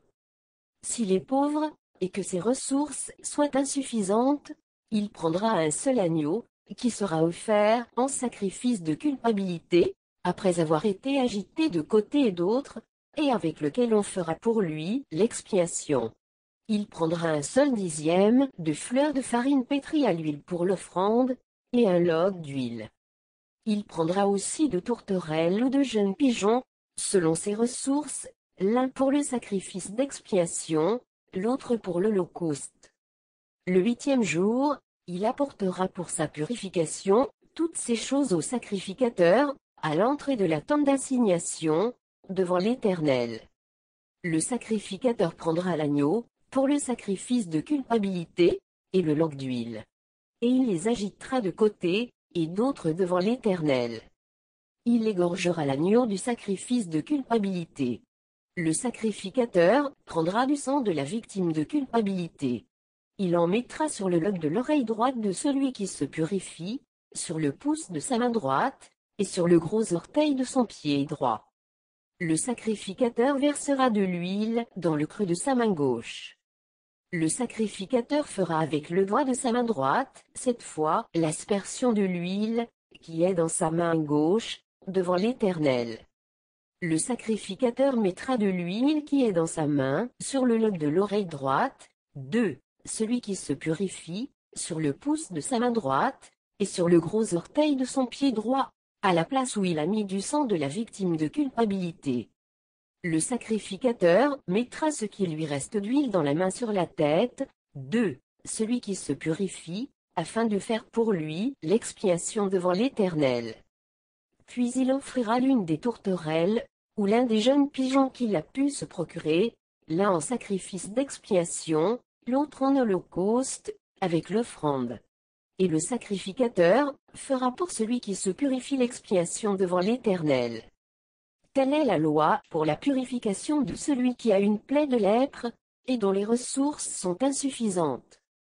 L'Éternel parla à Moïse et à Aaron, et dit, Lorsque vous serez entrés dans le pays de Canaan, dont je vous donne la possession, Si je mets une plaie de lèpre sur une maison du pays que vous posséderez, celui à qui appartiendra la maison, ira le déclarer au sacrificateur, et dira, J'aperçois comme une plaie dans ma maison.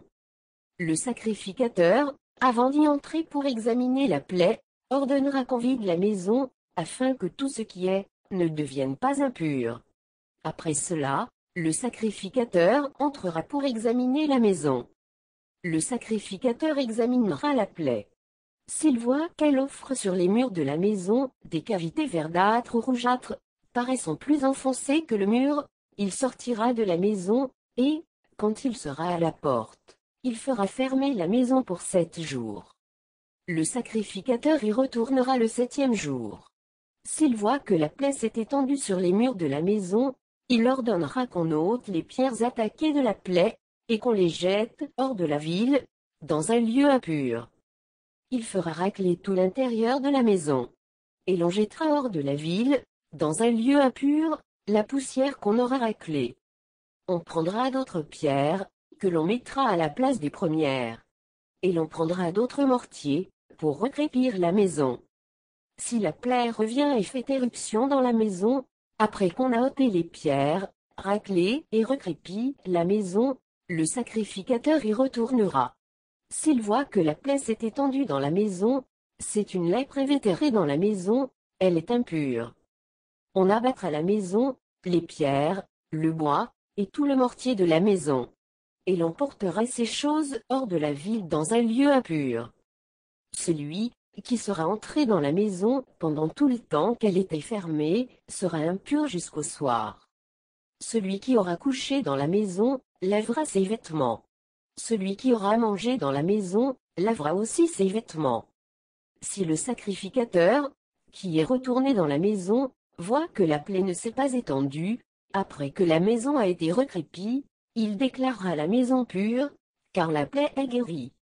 Il prendra, pour purifier la maison, deux oiseaux, du bois de cèdre, du cramoisi et de l'hysope. Il égorgera l'un des oiseaux sur un vase de terre, sur de l'eau vive.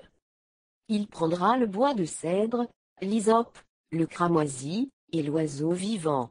Il les trempera dans le sang de l'oiseau égorgé, et dans l'eau vive, et il en fera cette fois l'aspersion sur la maison. Il purifiera la maison avec le sang de l'oiseau, avec de l'eau vive, avec l'oiseau vivant, avec le bois de cèdre, l'hysope et le cramoisi. Il lâchera l'oiseau vivant hors de la ville, dans les champs. C'est ainsi qu'il fera pour la maison l'expiation, et elle sera pure. Telle est la loi pour toute plaie de lèpre, et pour la teigne, pour la lèpre des vêtements et des maisons, les tumeurs, les dartres et les taches, elle enseigne quand une chose est impure, et quand elle est pure. Telle est la loi sur la lèpre. Lévitique. Chapitre 15 L'Éternel parla à Moïse et à Aaron, et dit, Parlez aux enfants d'Israël, et dites-leur, Tout homme qui a une gonorrhée est par la même impur. C'est à cause de sa gonorrhée qu'il est impur, que sa chair laisse couler son flux, ou qu'elle le retienne, il est impur. Tout lit sur lequel il couchera sera impur, et tout objet sur lequel il s'assiera sera impur. Celui qui touchera son lit, lèvera ses vêtements, se lèvera dans l'eau, et sera impur jusqu'au soir. Celui qui s'assiera sur l'objet sur lequel il s'est assis, lèvera ses vêtements, se lèvera dans l'eau, et sera impur jusqu'au soir. Celui qui touchera sa chair, lèvera ses vêtements, se lèvera dans l'eau, et sera impur jusqu'au soir. S'il crache sur un homme pur, cet homme lèvera ses vêtements, se lèvera dans l'eau, et sera impur jusqu'au soir. Toute monture sur laquelle il s'assiera sera impure. Celui qui touchera une chose quelconque, qui a été sous, lui sera impur jusqu'au soir. Et celui qui la portera, lèvera ses vêtements, se lèvera dans l'eau, et sera impur jusqu'au soir. Celui qui sera touché par lui, et qui ne se sera pas lavé les mains dans l'eau, lèvera ses vêtements, se lèvera dans l'eau, et sera impur jusqu'au soir. Tout vase de terre qui sera touché par lui sera brisé, et tout vase de bois sera lavé dans l'eau. Lorsqu'il sera purifié de son flux, il comptera sept jours pour sa purification. il lèvera ses vêtements, il lèvera sa chair avec de l'eau vive, et il sera pur. Le huitième jour, il prendra deux tourterelles ou deux jeunes pigeons, il ira devant l'Éternel, à l'entrée de la tente d'assignation, et il les donnera au sacrificateur. Le sacrificateur les offrira, l'un en sacrifice d'expiation, et l'autre en holocauste. Et le sacrificateur fera pour lui l'expiation devant l'Éternel, à cause de son flux. L'homme qui aura une pollution, lèvera tout son corps dans l'eau, et sera impur jusqu'au soir. Tout vêtement et toute peau qui en seront atteints seront lavés dans l'eau, et seront impurs jusqu'au soir. Si une femme a couché avec un tel homme, ils se laveront l'un et l'autre, et seront impurs jusqu'au soir. La femme qui aura un flux, un flux de sang en sa chair, restera sept jours dans son impureté. Quiconque la touchera sera impur jusqu'au soir.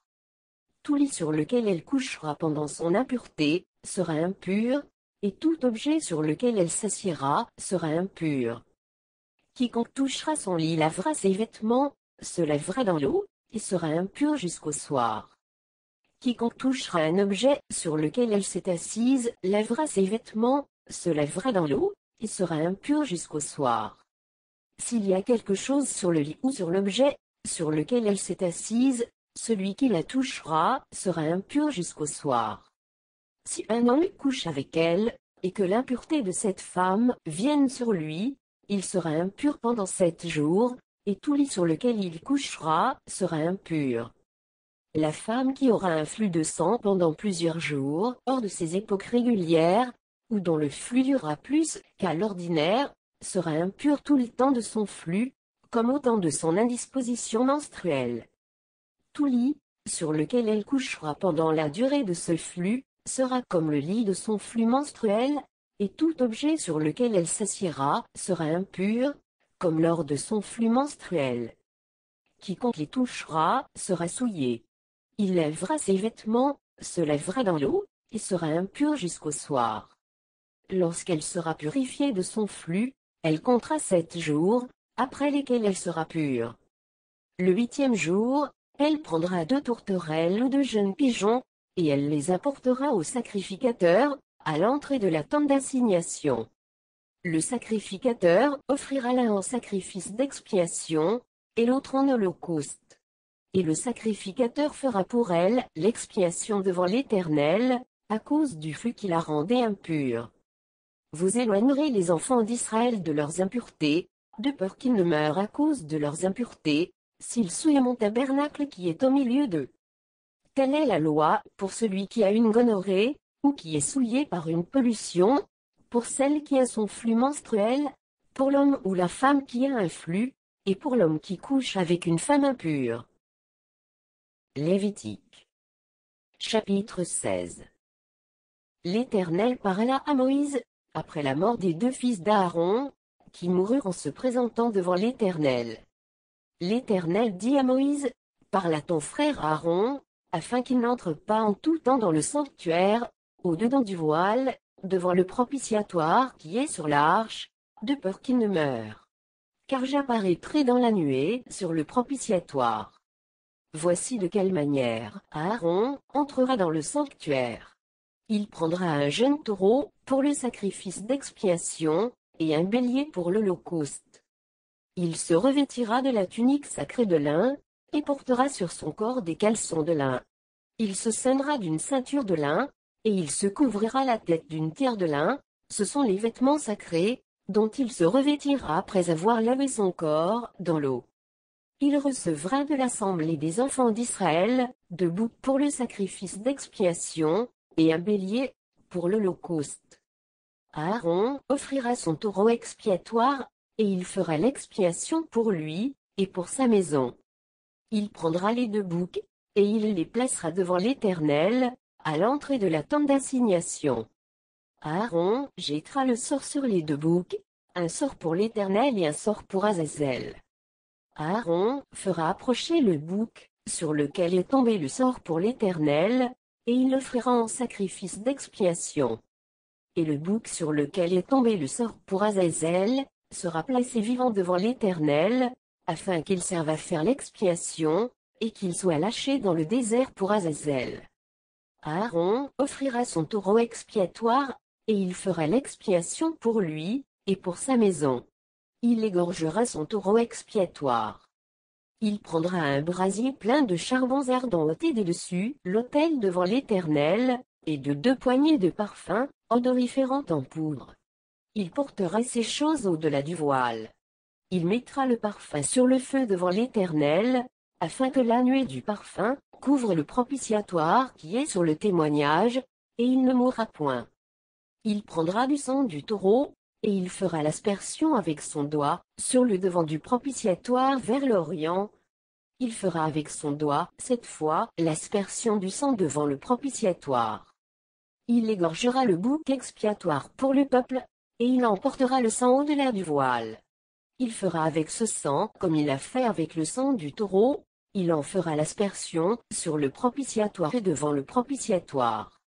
C'est ainsi qu'il fera l'expiation, le sanctuaire à cause des impuretés des enfants d'Israël, et de toutes les transgressions par lesquelles ils ont péché. Il fera de même pour la tente d'assignation, qui est avec eux, au milieu de leurs impuretés. Il n'y aura personne dans la tente d'assignation, lorsqu'il entrera pour faire l'expiation dans le sanctuaire, jusqu'à ce qu'il en sorte il fera l'expiation pour lui, et pour sa maison, et pour toute l'assemblée d'Israël. En sortant, il ira vers l'autel qui est devant l'Éternel, et il fera l'expiation pour l'autel. Il prendra du sang du taureau et du bouc, et il en mettra sur les cornes de l'autel, tout autour. Il fera avec son doigt, cette fois, l'aspersion du sang sur l'autel.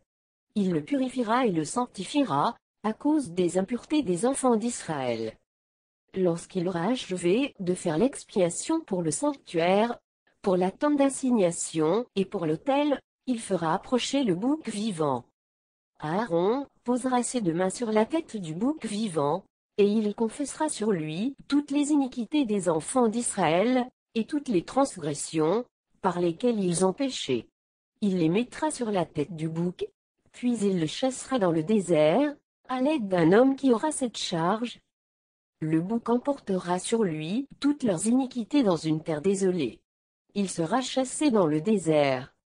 Aaron entrera dans la tente d'assignation. Il quittera les vêtements de lin qu'il avait mis en entrant dans le sanctuaire, et il les déposera là. Il lèvera son corps avec de l'eau dans un lieu saint, et reprendra ses vêtements.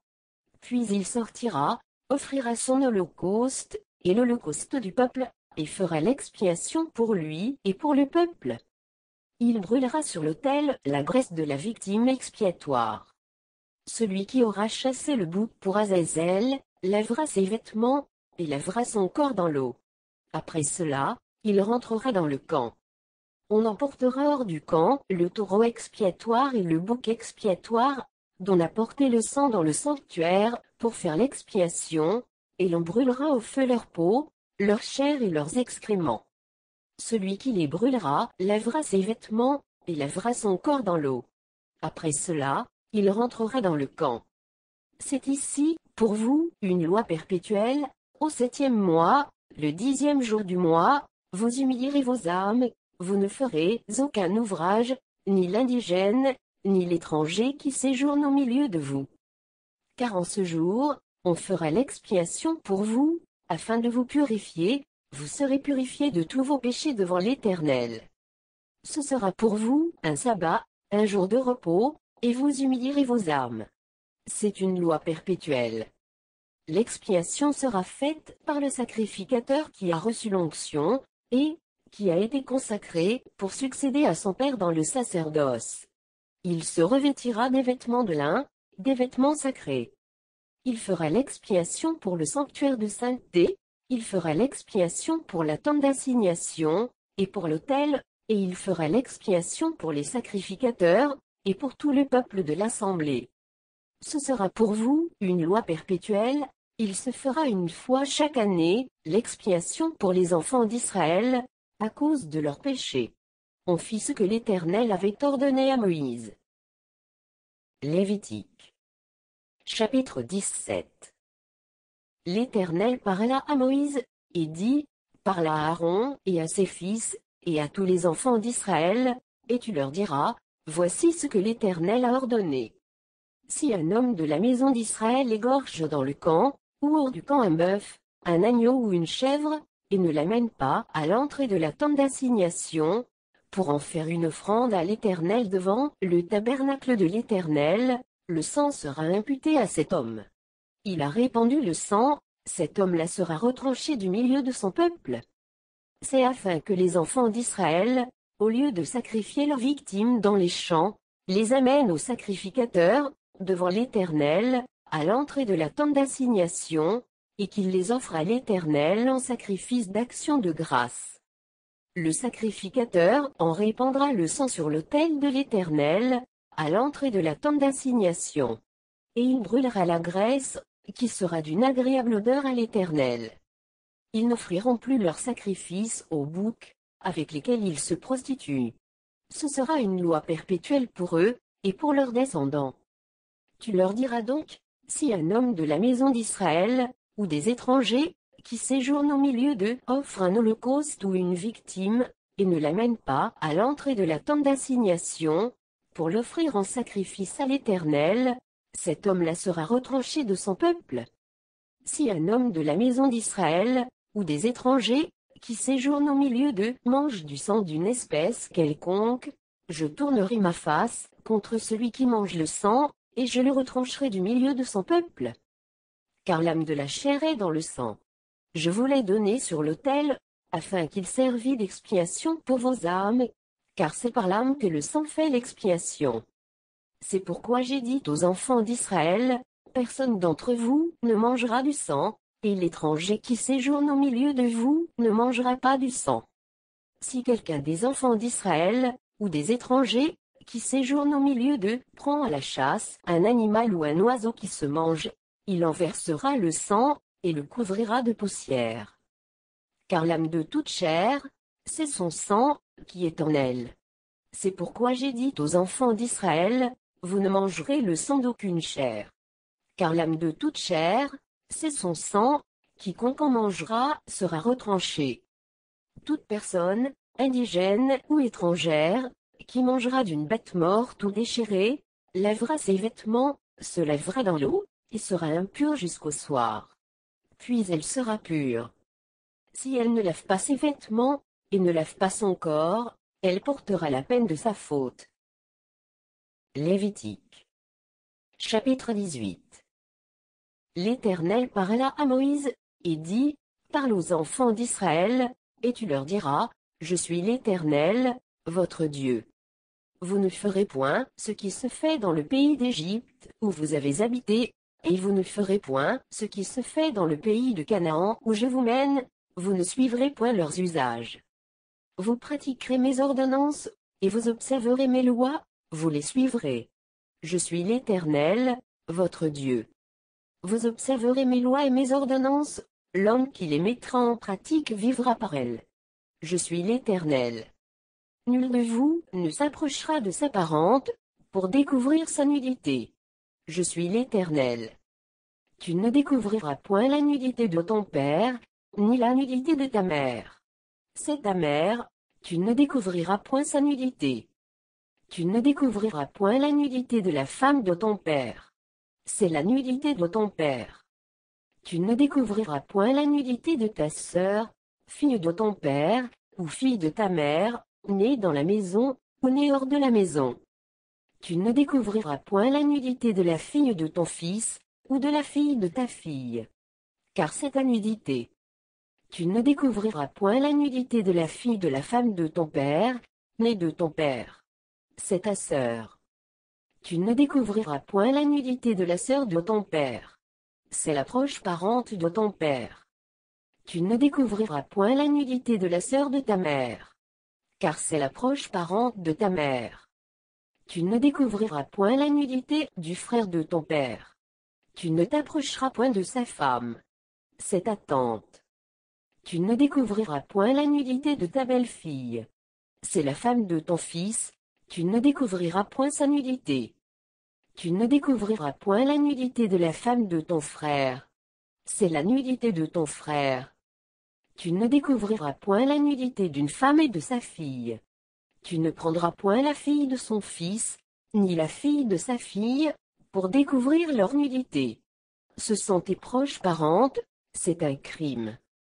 Tu ne prendras point la sœur de ta femme, pour exciter une rivalité, en découvrant sa nudité à côté de ta femme, pendant sa vie. Tu ne t'approcheras point d'une femme, pendant son impureté menstruelle, pour découvrir sa nudité. Tu n'auras point, commerce avec la femme de ton prochain, pour te souiller avec elle.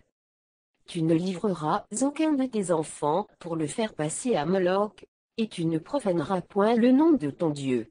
Je suis l'Éternel. Tu ne coucheras point avec un homme, comme on couche avec une femme. C'est une abomination.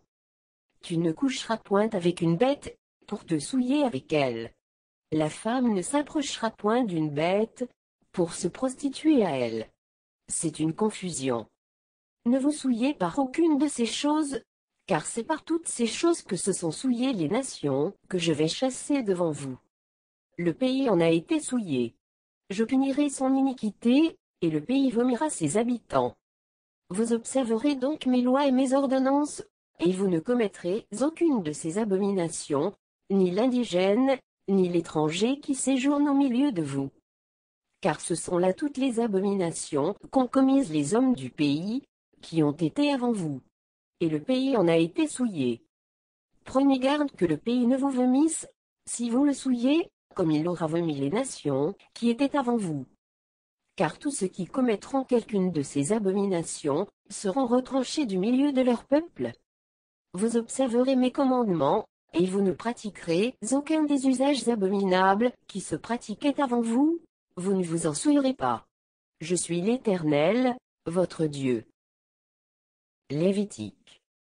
Chapitre 19 L'Éternel parla à Moïse, et dit, Parle à toute l'assemblée des enfants d'Israël, et tu leur diras, Soyez saints, car je suis saint, moi, l'Éternel, votre Dieu. Chacun de vous respectera sa mère et son père, et observera mes sabbats. Je suis l'Éternel, votre Dieu. Vous ne vous tournerez point vers les idoles, et vous ne vous ferez point des dieux de fonte. Quand vous offrirez à l'Éternel un sacrifice d'action de grâce, vous l'offrirez en sorte qu'il soit agréé. La victime sera mangée le jour où vous la sacrifierez, ou le lendemain. Ce qui restera jusqu'au troisième jour, sera brûlé au feu.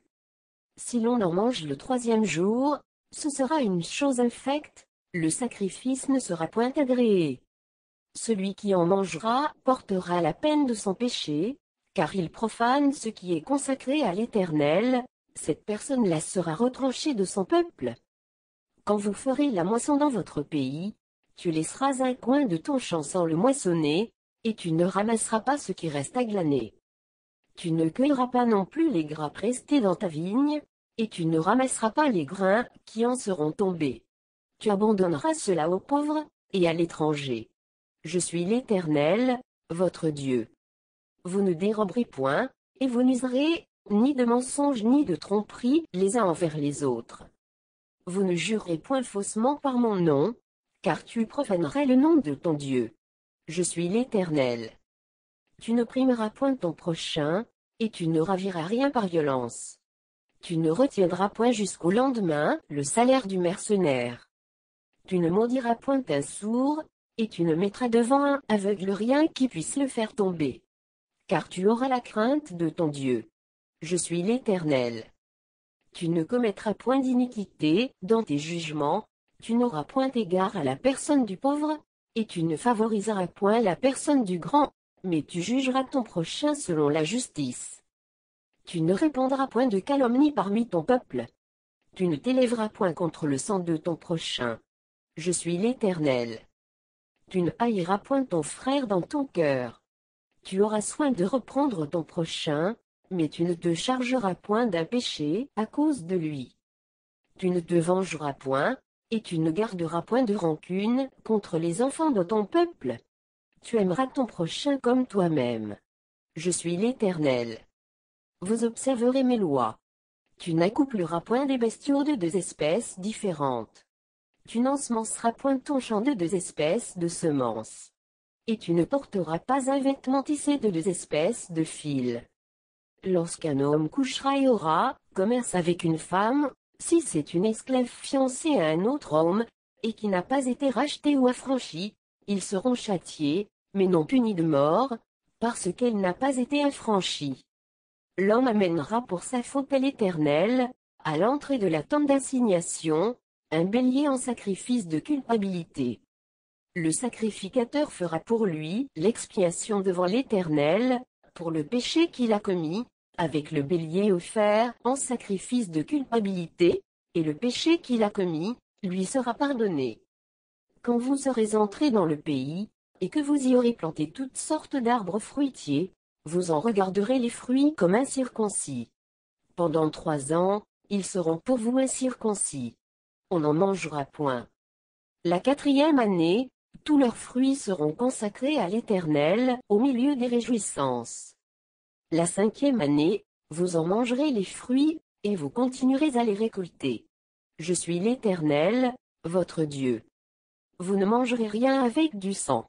Vous n'observerez, ni les serpents ni les nuages, pour en tirer des pronostics.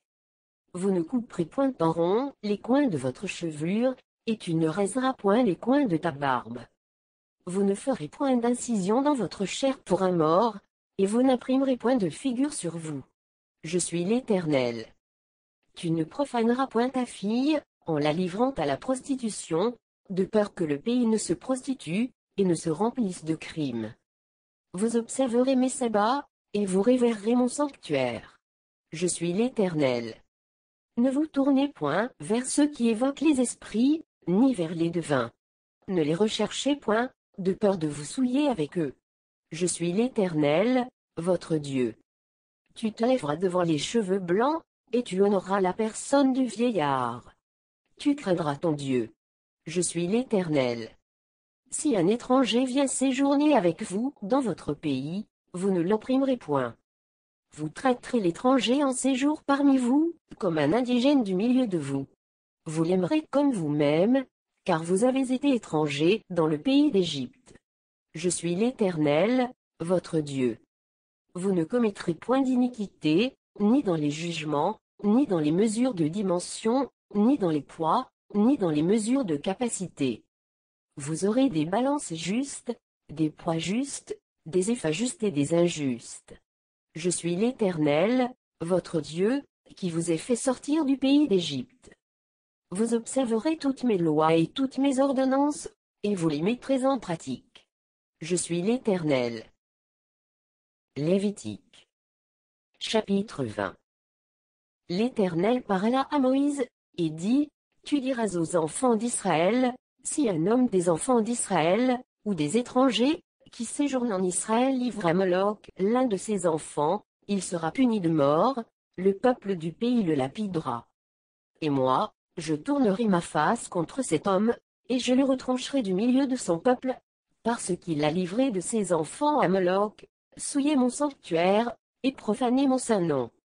Si le peuple du pays détourne ses regards de cet homme, qui livre de ses enfants à Moloch, et s'il ne le fait pas mourir, je tournerai, moi, ma face contre cet homme et contre sa famille, et je le retrancherai du milieu de son peuple, avec tous ceux qui se prostituent comme lui, en se prostituant à Moloch. Si quelqu'un s'adresse aux morts et aux esprits, pour se prostituer après eux, je tournerai ma face contre cet homme, je le retrancherai du milieu de son peuple. Vous vous sanctifierez, et vous serez saints, car je suis l'Éternel, votre Dieu. Vous observerez mes lois, et vous les mettrez en pratique. Je suis l'Éternel, qui vous sanctifie. Si un homme quelconque maudit son père ou sa mère, il sera puni de mort. Il a maudit son père ou sa mère, son sang retombera sur lui. Si un homme commet un adultère avec une femme mariée, s'il commet un adultère avec la femme de son prochain, l'homme et la femme adultère seront punis de mort. Si un homme couche avec la femme de son père, et découvre ainsi la nudité de son père, cet homme et cette femme seront punis de mort, leur sang retombera sur eux. Si un homme couche avec sa belle-fille, ils seront tous deux punis de mort. Ils ont fait une confusion, leur sang retombera sur eux. Si un homme couche avec un homme, comme on couche avec une femme, ils ont fait tous deux une chose abominable. Ils seront punis de mort, leur sang retombera sur eux. Si un homme prend pour femme la fille et la mère, c'est un crime, on les brûlera au feu, lui et elle, afin que ce crime n'existe pas au milieu de vous. Si un homme couche avec une bête, il sera puni de mort. Et vous tuerez la bête. Si une femme s'approche d'une bête, pour se prostituer à elle, tu tueras la femme et la bête. Elles seront mises à mort, leur sang retombera sur elles. Si un homme prend sa sœur, fille de son père, ou fille de sa mère, s'il voit sa nudité, et qu'elle voit la sienne, c'est une infamie. Ils seront retranchés, sous les yeux des enfants de leur peuple, il a découvert la nudité de sa sœur, il portera la peine de son péché. Si un homme couche avec une femme, qui a son indisposition, et découvre sa nudité, s'il découvre son flux, et qu'elle découvre le flux de son sang, ils seront tous deux retranchés du milieu de leur peuple. Tu ne découvriras point la nudité de la sœur de ta mère, ni de la sœur de ton père, car c'est découvrir sa proche parente, ils porteront la peine de leur péché. Si un homme couche avec sa tante, il a découvert la nudité de son oncle. Ils porteront la peine de leur péché, ils mourront sans enfant. Si un homme prend la femme de son frère, c'est une impureté. Il a découvert la nudité de son frère, ils seront sans enfant. Vous observerez toutes mes lois et toutes mes ordonnances, et vous les mettrez en pratique, afin que le pays où je vous mène pour vous y établir, ne vous vomisse point. Vous ne suivrez point les usages des nations, que je vais chasser devant vous. Car elles ont fait toutes ces choses, et je les ai en abomination. Je vous ai dit, c'est vous qui posséderez leur pays. Je vous en donnerai la possession, c'est un pays où coule le lait et le miel. Je suis l'Éternel, votre Dieu, qui vous ai séparé des peuples, vous observerez la distinction entre les animaux purs et impurs, entre les oiseaux purs et impurs, afin de ne pas rendre vos personnes abominables par des animaux, par des oiseaux, par tous les reptiles de la terre, que je vous ai appris à distinguer comme impurs. Vous serez saints pour moi, car je suis saint, moi, l'Éternel. Je vous ai séparés des peuples, afin que vous soyez à moi. Si un homme ou une femme ont en eux l'esprit d'un mort, ou un esprit de divination, ils seront punis de mort. On les lapidera, leur sang retombera sur eux. Lévitique. Chapitre 21 L'Éternel dit à Moïse, Parle aux sacrificateurs, fils d'Aaron, et tu leur diras, Un sacrificateur ne se rendra point impur, parmi son peuple pour un mort, excepté pour ses plus proches parents, pour sa mère, pour son père, pour son fils, pour son frère, et aussi pour sa sœur, encore vierge, qui le touche de près lorsqu'elle n'est pas mariée. Chef parmi son peuple, il ne se rendra point impur en se profanant. Les sacrificateurs ne se feront point de place chauffe sur la tête, ils ne raseront point les coins de leur barbe, et ils ne feront point d'incision dans leur chair. Ils seront saints pour leur Dieu, et ils ne profaneront pas le nom de leur Dieu. Car ils offrent à l'Éternel les sacrifices consumés par le feu, l'aliment de leur Dieu, ils seront saints. Ils ne prendront point une femme, prostituée ou déshonorée, ils ne prendront point une femme répudiée par son mari, car ils sont saints pour leur Dieu. Tu regarderas un sacrificateur comme saint, car il offre l'aliment de ton Dieu. Il sera saint pour toi, car je suis saint, moi, l'Éternel, qui vous sanctifie. Si la fille d'un sacrificateur se déshonore en se prostituant, elle déshonore son père, elle sera brûlée au feu.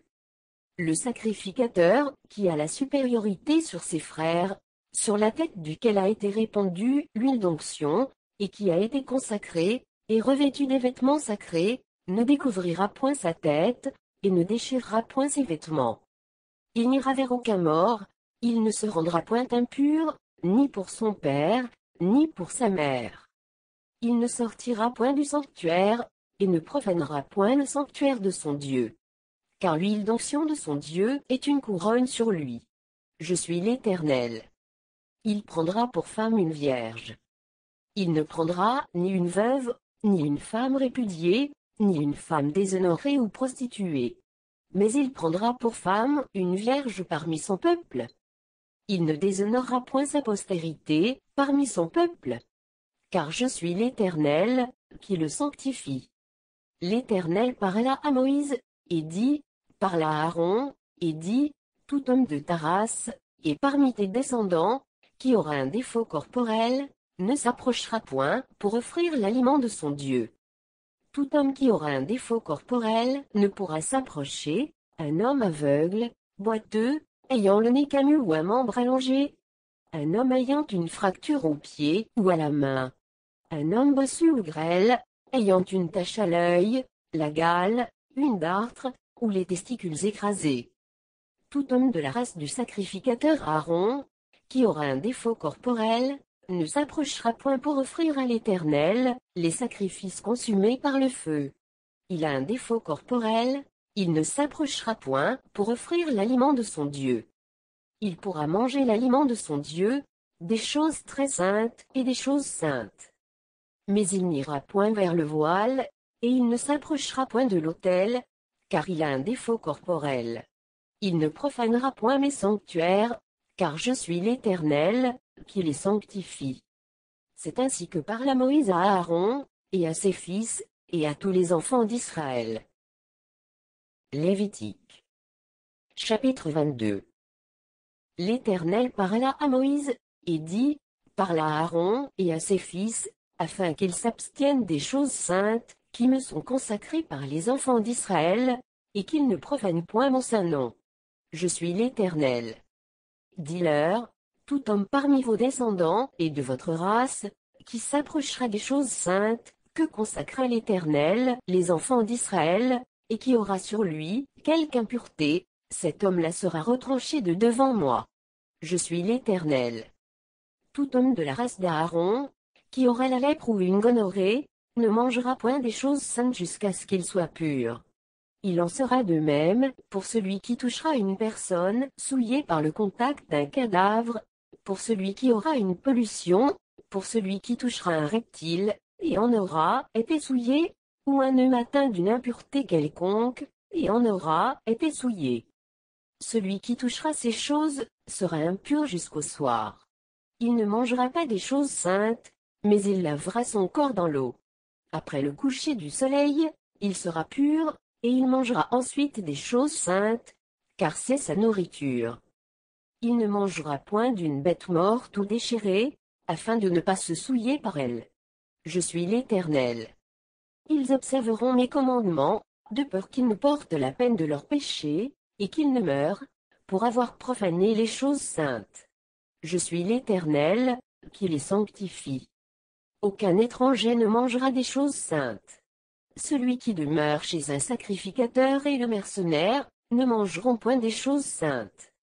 Mais un esclave acheté par le sacrificateur à prix d'argent, pourra en manger, de même que celui qui est né dans sa maison. Ils mangeront de sa nourriture.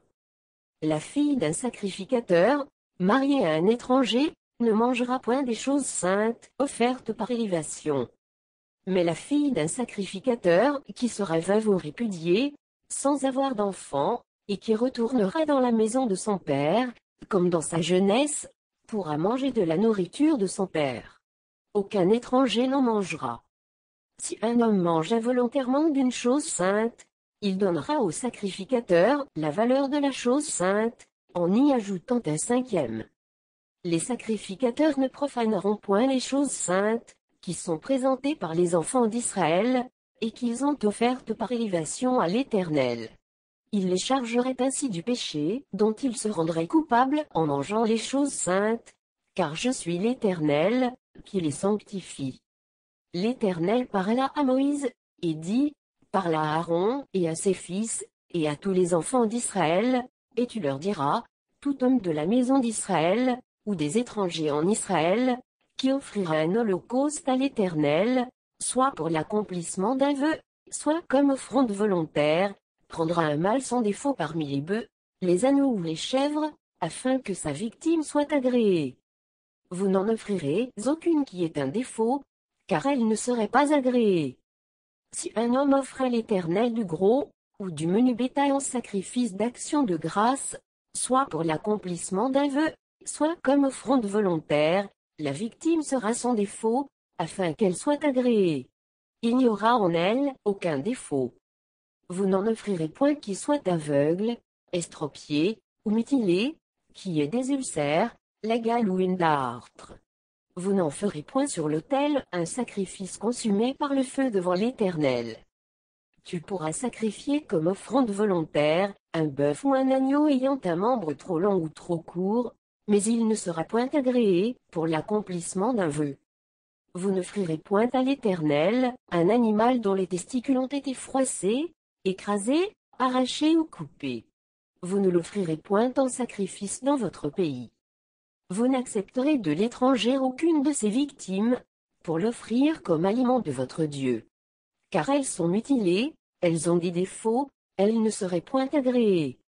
L'Éternel dit à Moïse, un bœuf, un agneau ou une chèvre, quand il naîtra, restera sept jours avec sa mère. Dès le huitième jour et les suivants, il sera agréé, pour être offert à l'Éternel en sacrifice, consumé par le feu. Bœuf ou agneau, vous n'égorgerez pas un animal, et son petit, le même jour. Quand vous offrirez à l'Éternel un sacrifice d'action de grâce, vous ferez en sorte qu'il soit agréé. La victime sera mangée le jour même. Vous n'en laisserez rien jusqu'au matin. Je suis l'Éternel. Vous observerez mes commandements, et vous les mettrez en pratique. Je suis l'Éternel. Vous ne profanerez point mon saint nom, afin que je sois sanctifié au milieu des enfants d'Israël. Je suis l'Éternel, qui vous sanctifie, et qui vous ai fait sortir du pays d'Égypte, pour être votre Dieu. Je suis l'Éternel. Lévitique. Chapitre 23 L'Éternel parla à Moïse, et dit, Parle aux enfants d'Israël, et tu leur diras, Les fêtes de l'Éternel, que vous publierez, seront de saintes convocations. Voici quelles sont mes fêtes. On travaillera six jours. Mais le septième jour est le sabbat, le jour du repos, il y aura une sainte convocation. Vous ne ferez aucun ouvrage, c'est le sabbat de l'Éternel, dans toutes vos demeures. Voici les fêtes de l'Éternel, les saintes convocations, que vous publierez à leur temps fixé. Le premier mois, le quatorzième jour du mois, entre les deux soirs, ce sera la Pâque de l'Éternel. Et le quinzième jour de ce mois, ce sera la fête des pains sans levain, en l'honneur de l'Éternel. Vous mangerez pendant sept jours des pains sans levain. Le premier jour, vous aurez une sainte convocation, vous ne ferez aucune œuvre servile. Vous offrirez à l'Éternel, pendant sept jours, des sacrifices consumés par le feu. Le septième jour, il y aura une sainte convocation, vous ne ferez aucune œuvre servile. L'Éternel parla à Moïse, et dit, Parle aux enfants d'Israël, et tu leur diras, Quand vous serez entrés dans le pays que je vous donne, et que vous y ferez la moisson, vous apporterez au sacrificateur une gerbe, prémisse de votre moisson. Il agitera de côté et d'autre la gerbe devant l'Éternel, afin qu'elle soit agréée, le sacrificateur l'agitera de côté et d'autre, le lendemain du sabbat. Le jour où vous agiterez la gerbe, vous offrirez en holocauste à l'Éternel un agneau d'un an sans défaut. Vous y joindrez une offrande de deux dixièmes de fleurs de farine, pétrie à l'huile, comme offrande consumée par le feu, d'une agréable odeur à l'Éternel. Et vous ferez une libation d'un quart de de vin. Vous ne mangerez ni pain, ni épis ou broyés, jusqu'au jour même où vous apporterez l'offrande à votre Dieu. C'est une loi perpétuelle pour vos descendants, dans tous les lieux où vous habiterez. Depuis le lendemain du sabbat, du jour où vous apporterez la gerbe, pour être agité de côté et d'autre, vous compterez sept semaines entières. Vous compterez cinquante jours, jusqu'au lendemain du septième sabbat. Et vous ferez à l'Éternel, une offrande nouvelle. Vous apporterez de vos demeures de pain, pour qu'ils soient agités de côté et d'autre. Ils seront faits avec deux dixièmes de fleurs de farine, et cuits avec du levain, ce sont les prémices à l'Éternel. Outre ces pains, vous offrirez en holocauste à l'Éternel, cet agneau d'un an sans défaut, un jeune taureau et deux béliers. Vous y joindrez l'offrande et la libation ordinaire, comme offrande consumée par le feu, d'une agréable odeur à l'Éternel. Vous offrirez un bouc en sacrifice d'expiation, et deux agneaux d'un an en sacrifice d'action de grâce. Le sacrificateur agitera ses victimes de côté, et d'autres devant l'Éternel, avec le pain des prémices, et avec les deux agneaux, elles seront consacrées à l'Éternel, et appartiendront au sacrificateur. Ce jour même, vous publierez la fête, et vous aurez une sainte convocation, vous ne ferez aucune œuvre servile. C'est une loi perpétuelle pour vos descendants, dans tous les lieux où vous habiterez. Quand vous ferez la moisson dans votre pays, tu laisseras un coin de ton champ sans le moissonner, et tu ne ramasseras pas ce qui reste à glaner. Tu abandonneras cela aux pauvres, et à l'étranger. Je suis l'Éternel, votre Dieu. L'Éternel parla à Moïse, et dit, Parle aux enfants d'Israël, et dit, Le septième mois, le premier jour du mois, vous aurez un jour de repos, publié au son des trompettes, et une sainte convocation. Vous ne ferez aucune œuvre servile, et vous offrirez à l'Éternel des sacrifices, consumés par le feu. L'Éternel parla à Moïse, et dit, Le dixième jour de ce septième mois, ce sera le jour des expiations, vous aurez une sainte convocation, vous humilierez vos âmes, et vous offrirez à l'Éternel des sacrifices, consumés par le feu.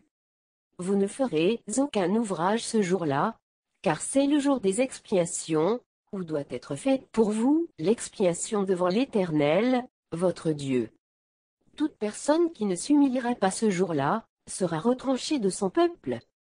Toute personne qui fera ce jour-là un ouvrage quelconque, je la détruirai du milieu de son peuple.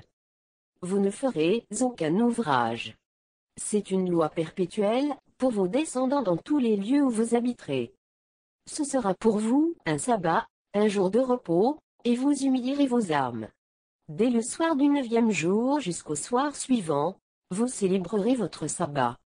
L'Éternel parla à Moïse, et dit, Parle aux enfants d'Israël, et dit, Le quinzième jour de ce septième mois, ce sera la fête des tabernacles en l'honneur de l'Éternel, pendant sept jours.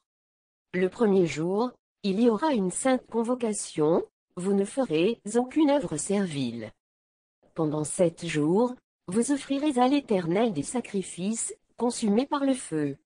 Le huitième jour, vous aurez une sainte convocation, et vous offrirez à l'Éternel des sacrifices, consumés par le feu. Ce sera une assemblée solennelle, vous ne ferez aucune œuvre servile. Telles sont les fêtes de l'Éternel, les saintes convocations, que vous publierez, afin que l'on offre à l'Éternel des sacrifices, consumés par le feu, des holocaustes, des offrandes, des victimes et des libations, chaque chose au jour fixé. Vous observerez en outre les sabbats de l'Éternel, et vous continuerez à faire vos dons à l'Éternel, tous vos sacrifices pour l'accomplissement d'un vœu, et toutes vos offrandes volontaires. Le quinzième jour du septième mois, quand vous récolterez les produits du pays, vous célébrerez donc une fête à l'Éternel, pendant sept jours, le premier jour sera un jour de repos, et le huitième sera un jour de repos. Vous prendrez, le premier jour, du fruit des beaux arbres, des branches de palmiers, des rameaux d'arbres touffus, et des saules de rivière. Et vous vous réjouirez devant l'Éternel, votre Dieu, pendant sept jours. Vous célébrerez chaque année cette fête à l'Éternel, pendant sept jours. C'est une loi perpétuelle pour vos descendants. Vous la célébrerez le septième mois. Vous demeurez pendant sept jours sous des tentes. Tous les indigènes en Israël demeureront sous des tentes, afin que vos descendants sachent que j'ai fait habiter sous des tentes les enfants d'Israël, après les avoir fait sortir du pays d'Égypte. Je suis l'Éternel, votre Dieu. C'est ainsi que Moïse dit aux enfants d'Israël quelles sont les fêtes de l'Éternel. Lévitique Chapitre 24 L'Éternel parla à Moïse, et dit, Ordonne aux enfants d'Israël de t'apporter pour le chandelier de l'huile pure d'olive concassée, afin d'entretenir les lampes continuellement. C'est en dehors du voile qui est devant le témoignage, dans la tente d'assignation, car on la préparera, pour que les lampes brûlent continuellement du soir au matin en présence de l'Éternel. C'est une loi perpétuelle pour vos descendants. Il arrangera les lampes sur le chandelier d'or pur, pour qu'elles brûlent continuellement devant l'Éternel. Tu prendras de la fleur de farine, et tu en feras douze gâteaux. Chaque gâteau sera de deux dixièmes. Tu les placeras en deux piles, six par pile, sur la table d'or pur devant l'Éternel. Tu mettras de l'encens pur sur chaque pile, et il sera sur le pain comme souvenir, comme une offrande consumée par le feu devant l'Éternel. Chaque jour de sabbat, on rangera ses pains devant l'Éternel, continuellement, c'est une alliance perpétuelle, qu'observeront les enfants d'Israël. Ils appartiendront à Aaron et à ses fils, et ils les mangeront dans un lieu saint. Car ce sera pour eux une chose très sainte, une part des offrandes, consumées par le feu devant l'Éternel. C'est une loi perpétuelle.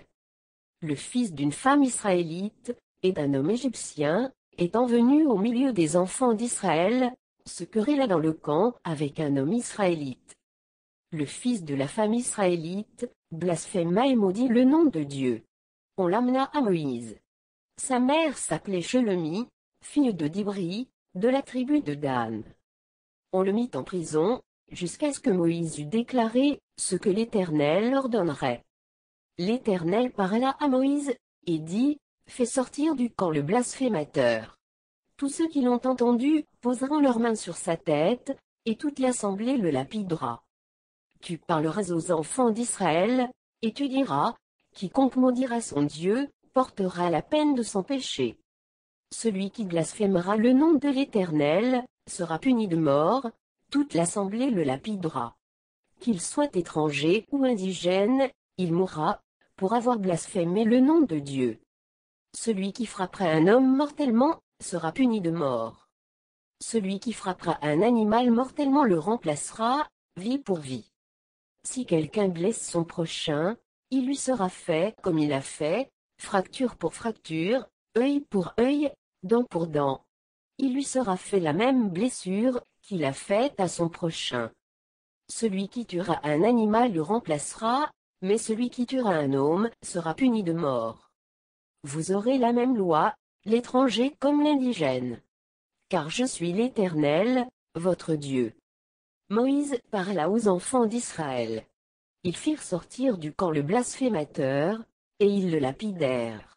Les enfants d'Israël se conformèrent à l'ordre que l'Éternel avait donné à Moïse. Lévitique Chapitre 25 L'Éternel parla à Moïse sur la montagne de Sinaï, et dit, Parle aux enfants d'Israël, et tu leur diras, Quand vous serez entrés dans le pays que je vous donne, la terre se reposera, ce sera un sabbat en l'honneur de l'Éternel. Pendant six années, tu ensemenceras ton champ, pendant six années, tu tailleras ta vigne. Et tu en recueilleras le produit. Mais la septième année sera un sabbat, un temps de repos pour la terre, un sabbat en l'honneur de l'Éternel, tu n'ensemenceras point ton champ, et tu ne tailleras point ta vigne. Tu ne moissonneras point ce qui proviendra des grains tombés de ta moisson, et tu ne vendangeras point les raisins de ta vigne non taillés, ce sera une année de repos pour la terre. Ce que produira la terre pendant son sabbat, vous servira de nourriture, à toi, à ton serviteur et à ta servante, à ton mercenaire, et à l'étranger qui demeure avec toi, ton bétail et aux animaux, qui sont dans ton pays. Tout son produit servira de nourriture. Tu compteras cette sabbat d'année, cette fois cette année, et les jours de ces sept sabbats d'année, feront quarante-neuf ans. Le dixième jour du septième mois, tu feras retentir les sons éclatants de la trompette. Le jour des expiations, vous sonnerez de la trompette dans tout votre pays. Et vous sanctifierez la cinquantième année, vous publierez la liberté dans le pays pour tous ses habitants, ce sera pour vous le jubilé. Chacun de vous retournera dans sa propriété, et chacun de vous retournera dans sa famille. La cinquantième année sera pour vous le jubilé, vous ne sèmerez point, vous ne moissonnerez point ce que les champs produiront d'eux-mêmes, et vous ne vendangerez point la vigne non taillée. car c'est le jubilé, vous le regarderez comme une chose sainte. Vous mangerez le produit de vos champs. Dans cette année de jubilé, chacun de vous retournera dans sa propriété. Si vous vendez à votre prochain, ou si vous achetez de votre prochain, qu'aucun de vous ne trompe son frère. Tu achèteras de ton prochain, en comptant les années depuis le jubilé. Et il te vendra, en comptant les années de rapport. Plus il y aurait d'années, plus tu élèveras le prix. Et moins il y aurait d'années, plus tu le réduiras. Car c'est le nombre des récoltes qu'il te vend. Aucun de vous ne trompera son prochain, et tu craindras ton Dieu. Car je suis l'Éternel, votre Dieu. Mettez mes lois en pratique, observez mes ordonnances, et mettez-les en pratique. Et vous habiterez en sécurité dans le pays. Le pays donnera ses fruits, vous mangerez à satiété, et vous y habiterez en sécurité. Si vous dites, que mangerons-nous la septième année, puisque nous ne sèmerons point et ne ferons point, nos récoltes, je vous accorderai ma bénédiction la sixième année, et elle donnera des produits pour trois ans. Vous sèmerez la huitième année, et vous mangerez de l'ancienne récolte. Jusqu'à la neuvième année, jusqu'à la nouvelle récolte, vous mangerez de l'ancienne. Les terres ne se vendront point à perpétuité. Car le pays est à moi, car vous êtes chez moi comme étrangers, et comme habitants. Dans tout le pays dont vous aurez la possession, vous établirez le droit de rachat pour les terres. Si ton frère devient pauvre, et vend une portion de sa propriété, celui qui a le droit de rachat, son plus proche parent, viendra et rachètera ce qu'a vendu son frère. Si un homme n'a personne qui ait le droit de rachat, et qu'il se procure lui-même de quoi faire son rachat, il comptera les années depuis la vente, restituera le surplus à l'acquéreur, et retournera dans sa propriété. S'il ne trouve pas de quoi lui faire cette restitution, ce qu'il a vendu restera entre les mains de l'acquéreur jusqu'à l'année du jubilé. Au jubilé, il retournera dans sa propriété, et l'acquéreur en sortira. Si un homme vend une maison d'habitation, dans une ville entourée de murs, il aura le droit de rachat jusqu'à l'accomplissement d'une année depuis la vente. Son droit de rachat durera un an. Mais si cette maison située, dans une ville entourée de murs, n'est pas rachetée avant l'accomplissement d'une année entière, elle restera à perpétuité à l'acquéreur, et à ses descendants. Il n'en sortira point au jubilé. Les maisons des villages non entourés de murs, seront considérées comme des fonds de terre. Elles pourront être rachetées, et l'acquéreur en sortira au jubilé. Quant aux villes des Lévites, et aux maisons qu'ils y posséderont, les Lévites auront droit perpétuel de rachat. Celui qui achètera des Lévites une maison, sortira au jubilé de la maison vendue, et de la ville où il la possédait. Car les maisons des villes des Lévites, sont leur propriété au milieu des enfants d'Israël. Les champs situés autour des villes des Lévites, ne pourront point se vendre. Car ils en ont à perpétuité la possession. Si ton frère devient pauvre, et que sa main fléchisse près de toi, tu le soutiendras. Tu feras de même, pour celui qui est étranger, et qui demeure dans le pays, afin qu'il vive avec toi. Tu ne tireras de lui, ni intérêt ni usure, tu craindras ton Dieu, et ton frère vivra avec toi. Tu ne lui prêteras point ton argent à intérêt, et tu ne lui prêteras point tes vivres à usure. Je suis l'Éternel, ton Dieu, qui vous ai fait sortir du pays d'Égypte, pour vous donner le pays de Canaan, pour être votre Dieu. Si ton frère devient pauvre près de toi, et qu'il se vende à toi, tu ne lui imposeras point le travail d'un esclave. Il sera chez toi comme un mercenaire, comme celui qui demeure. Il sera à ton service jusqu'à l'année du jubilé. Il sortira alors de chez toi, lui et ses enfants avec lui, et il retournera dans sa famille, dans la propriété de ses pères. Car ce sont mes serviteurs, que j'ai fait sortir du pays d'Égypte. Ils ne seront point vendus, comme on vend des esclaves. Tu ne domineras point sur lui avec dureté, et tu craindras ton Dieu. C'est des nations qui vous entourent que tu prendras ton esclave, et ta servante qui t'appartiendront, c'est d'elle que vous achèterez l'esclave et la servante.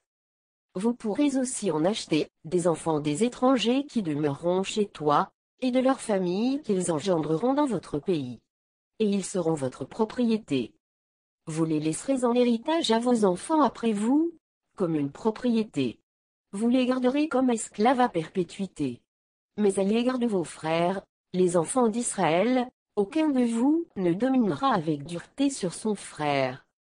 Si un étranger, si celui qui demeure chez toi devient riche, et que ton frère devienne pauvre, près de lui, et se vende à l'étranger qui demeure chez toi, ou à quelqu'un de la famille de l'étranger, il y aura pour lui le droit de rachat, après qu'il se sera vendu, un de ses frères pourra le racheter. Son oncle, ou le fils de son oncle, ou l'un de ses proches parents, pourra le racheter. Ou bien, s'il en a les ressources, il se rachètera lui-même. Il comptera avec celui qu'il a acheté depuis l'année, où il s'est vendu jusqu'à l'année du jubilé.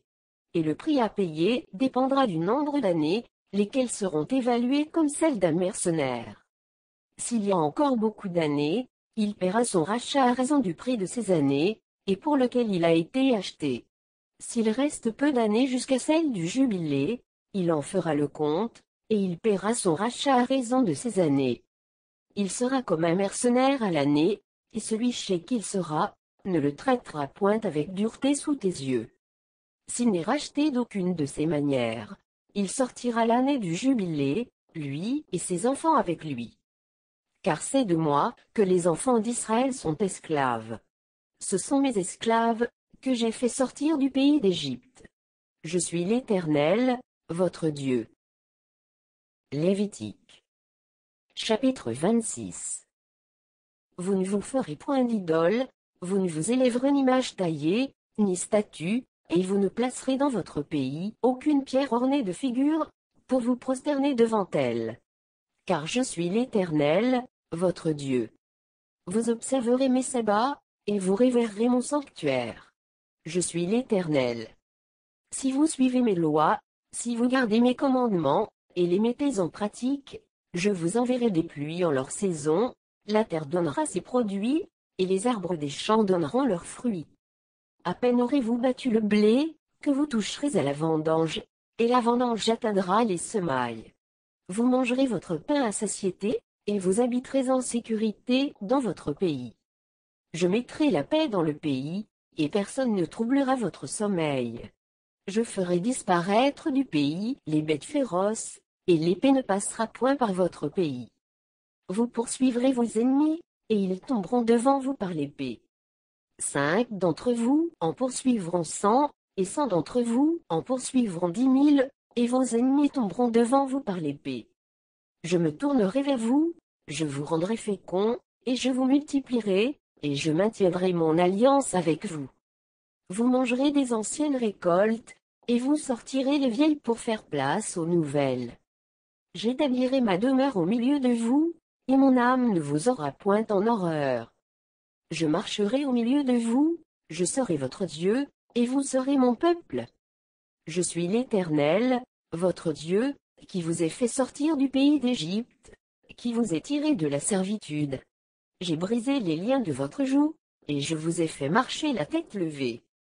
Mais si vous ne m'écoutez point, et ne mettez point en pratique tous ces commandements, si vous méprisez mes lois, et si votre âme a en horreur mes ordonnances, en sorte que vous ne pratiquiez point tous mes commandements, et que vous rompiez mon alliance, voici alors ce que je vous ferai. J'enverrai sur vous la terreur, la consomption et la fièvre, qui rendront vos yeux languissants et votre âme souffrante. Et vous sèmerez en vain vos semences, vos ennemis les dévoreront. Je tournerai ma face contre vous, et vous serez battus devant vos ennemis. Ceux qui vous haïssent domineront sur vous, et vous fuirez sans que l'on vous poursuive. Si, malgré cela, vous ne m'écoutez point, je vous châtirai cette fois plus pour vos péchés.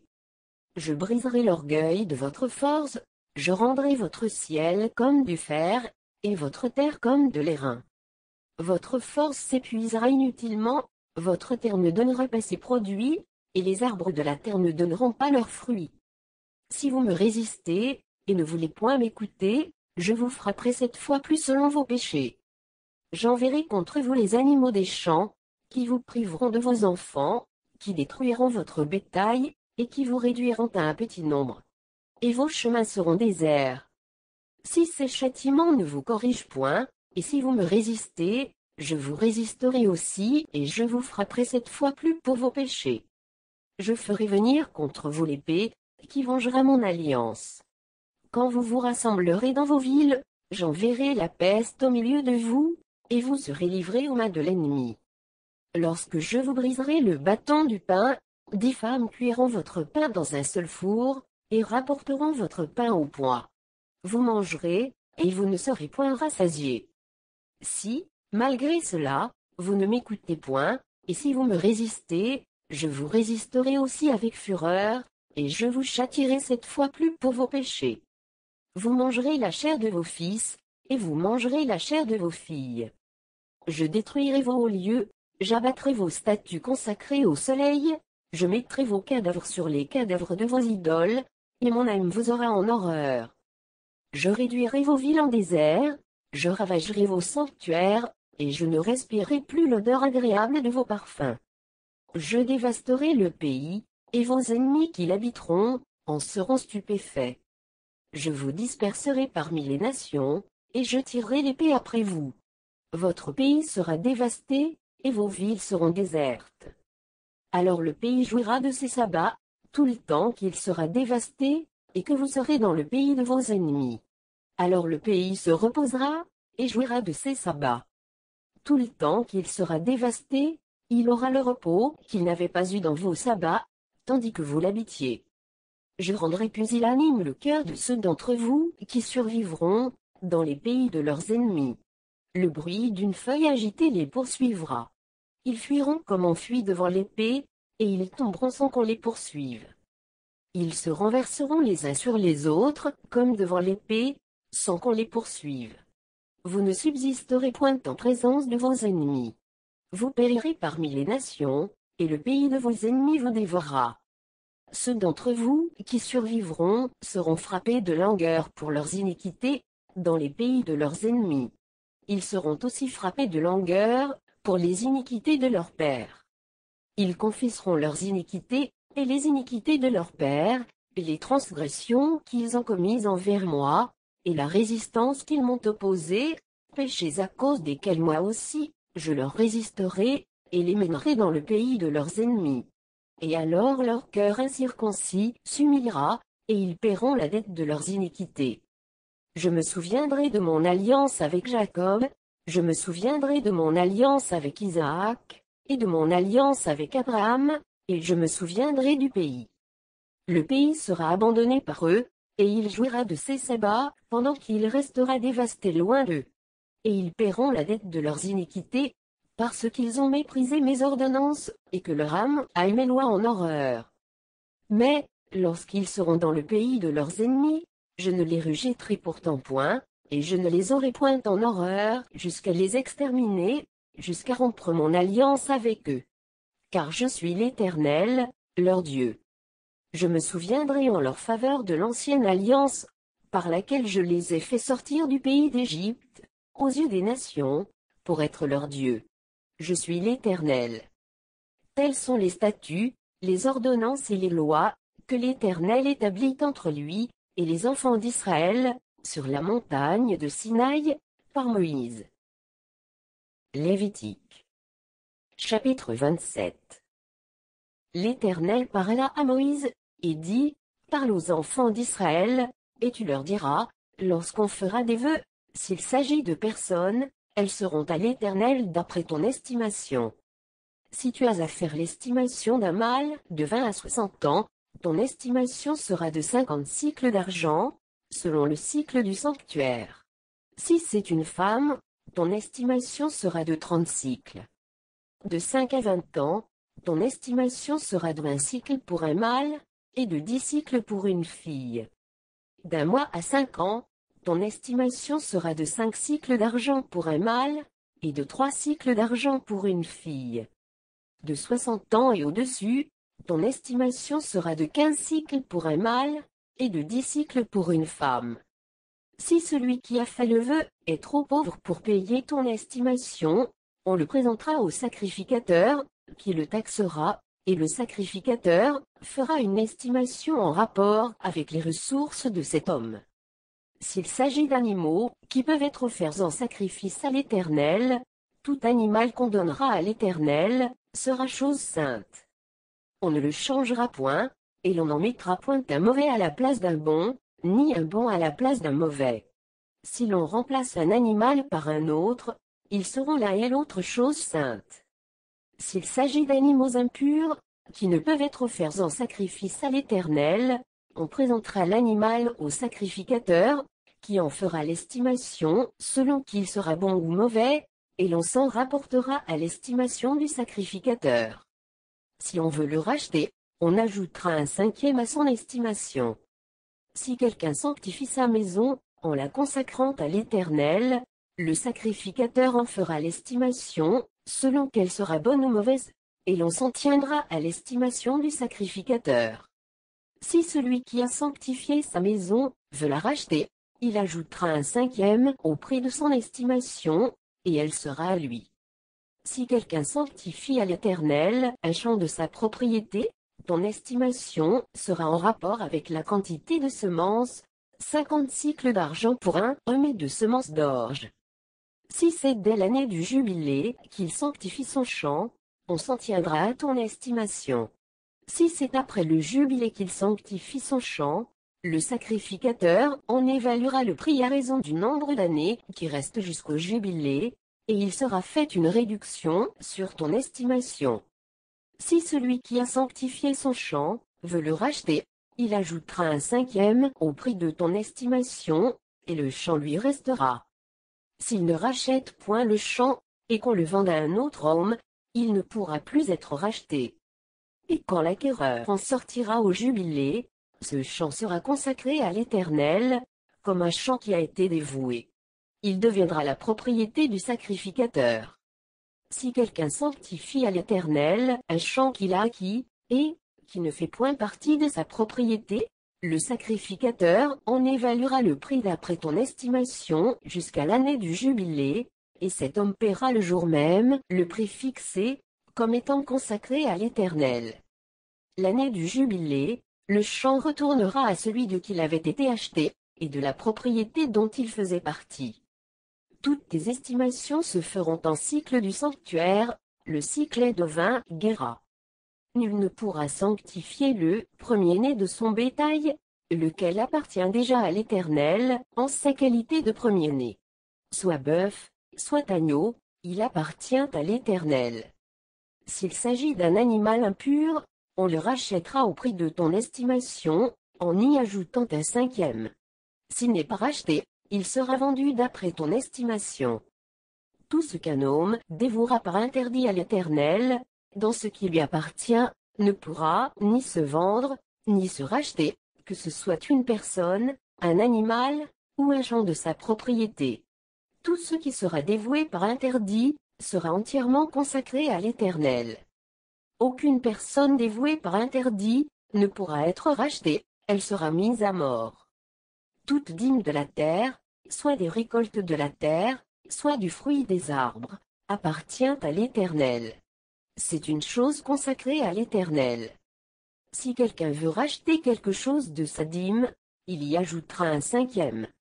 Toute dîme de gros, et de menu bétail, de tout ce qui passe sur la houlette, sera une dîme consacrée à l'Éternel. On n'examinera point si l'animal est bon ou mauvais, et l'on ne fera point d'échange.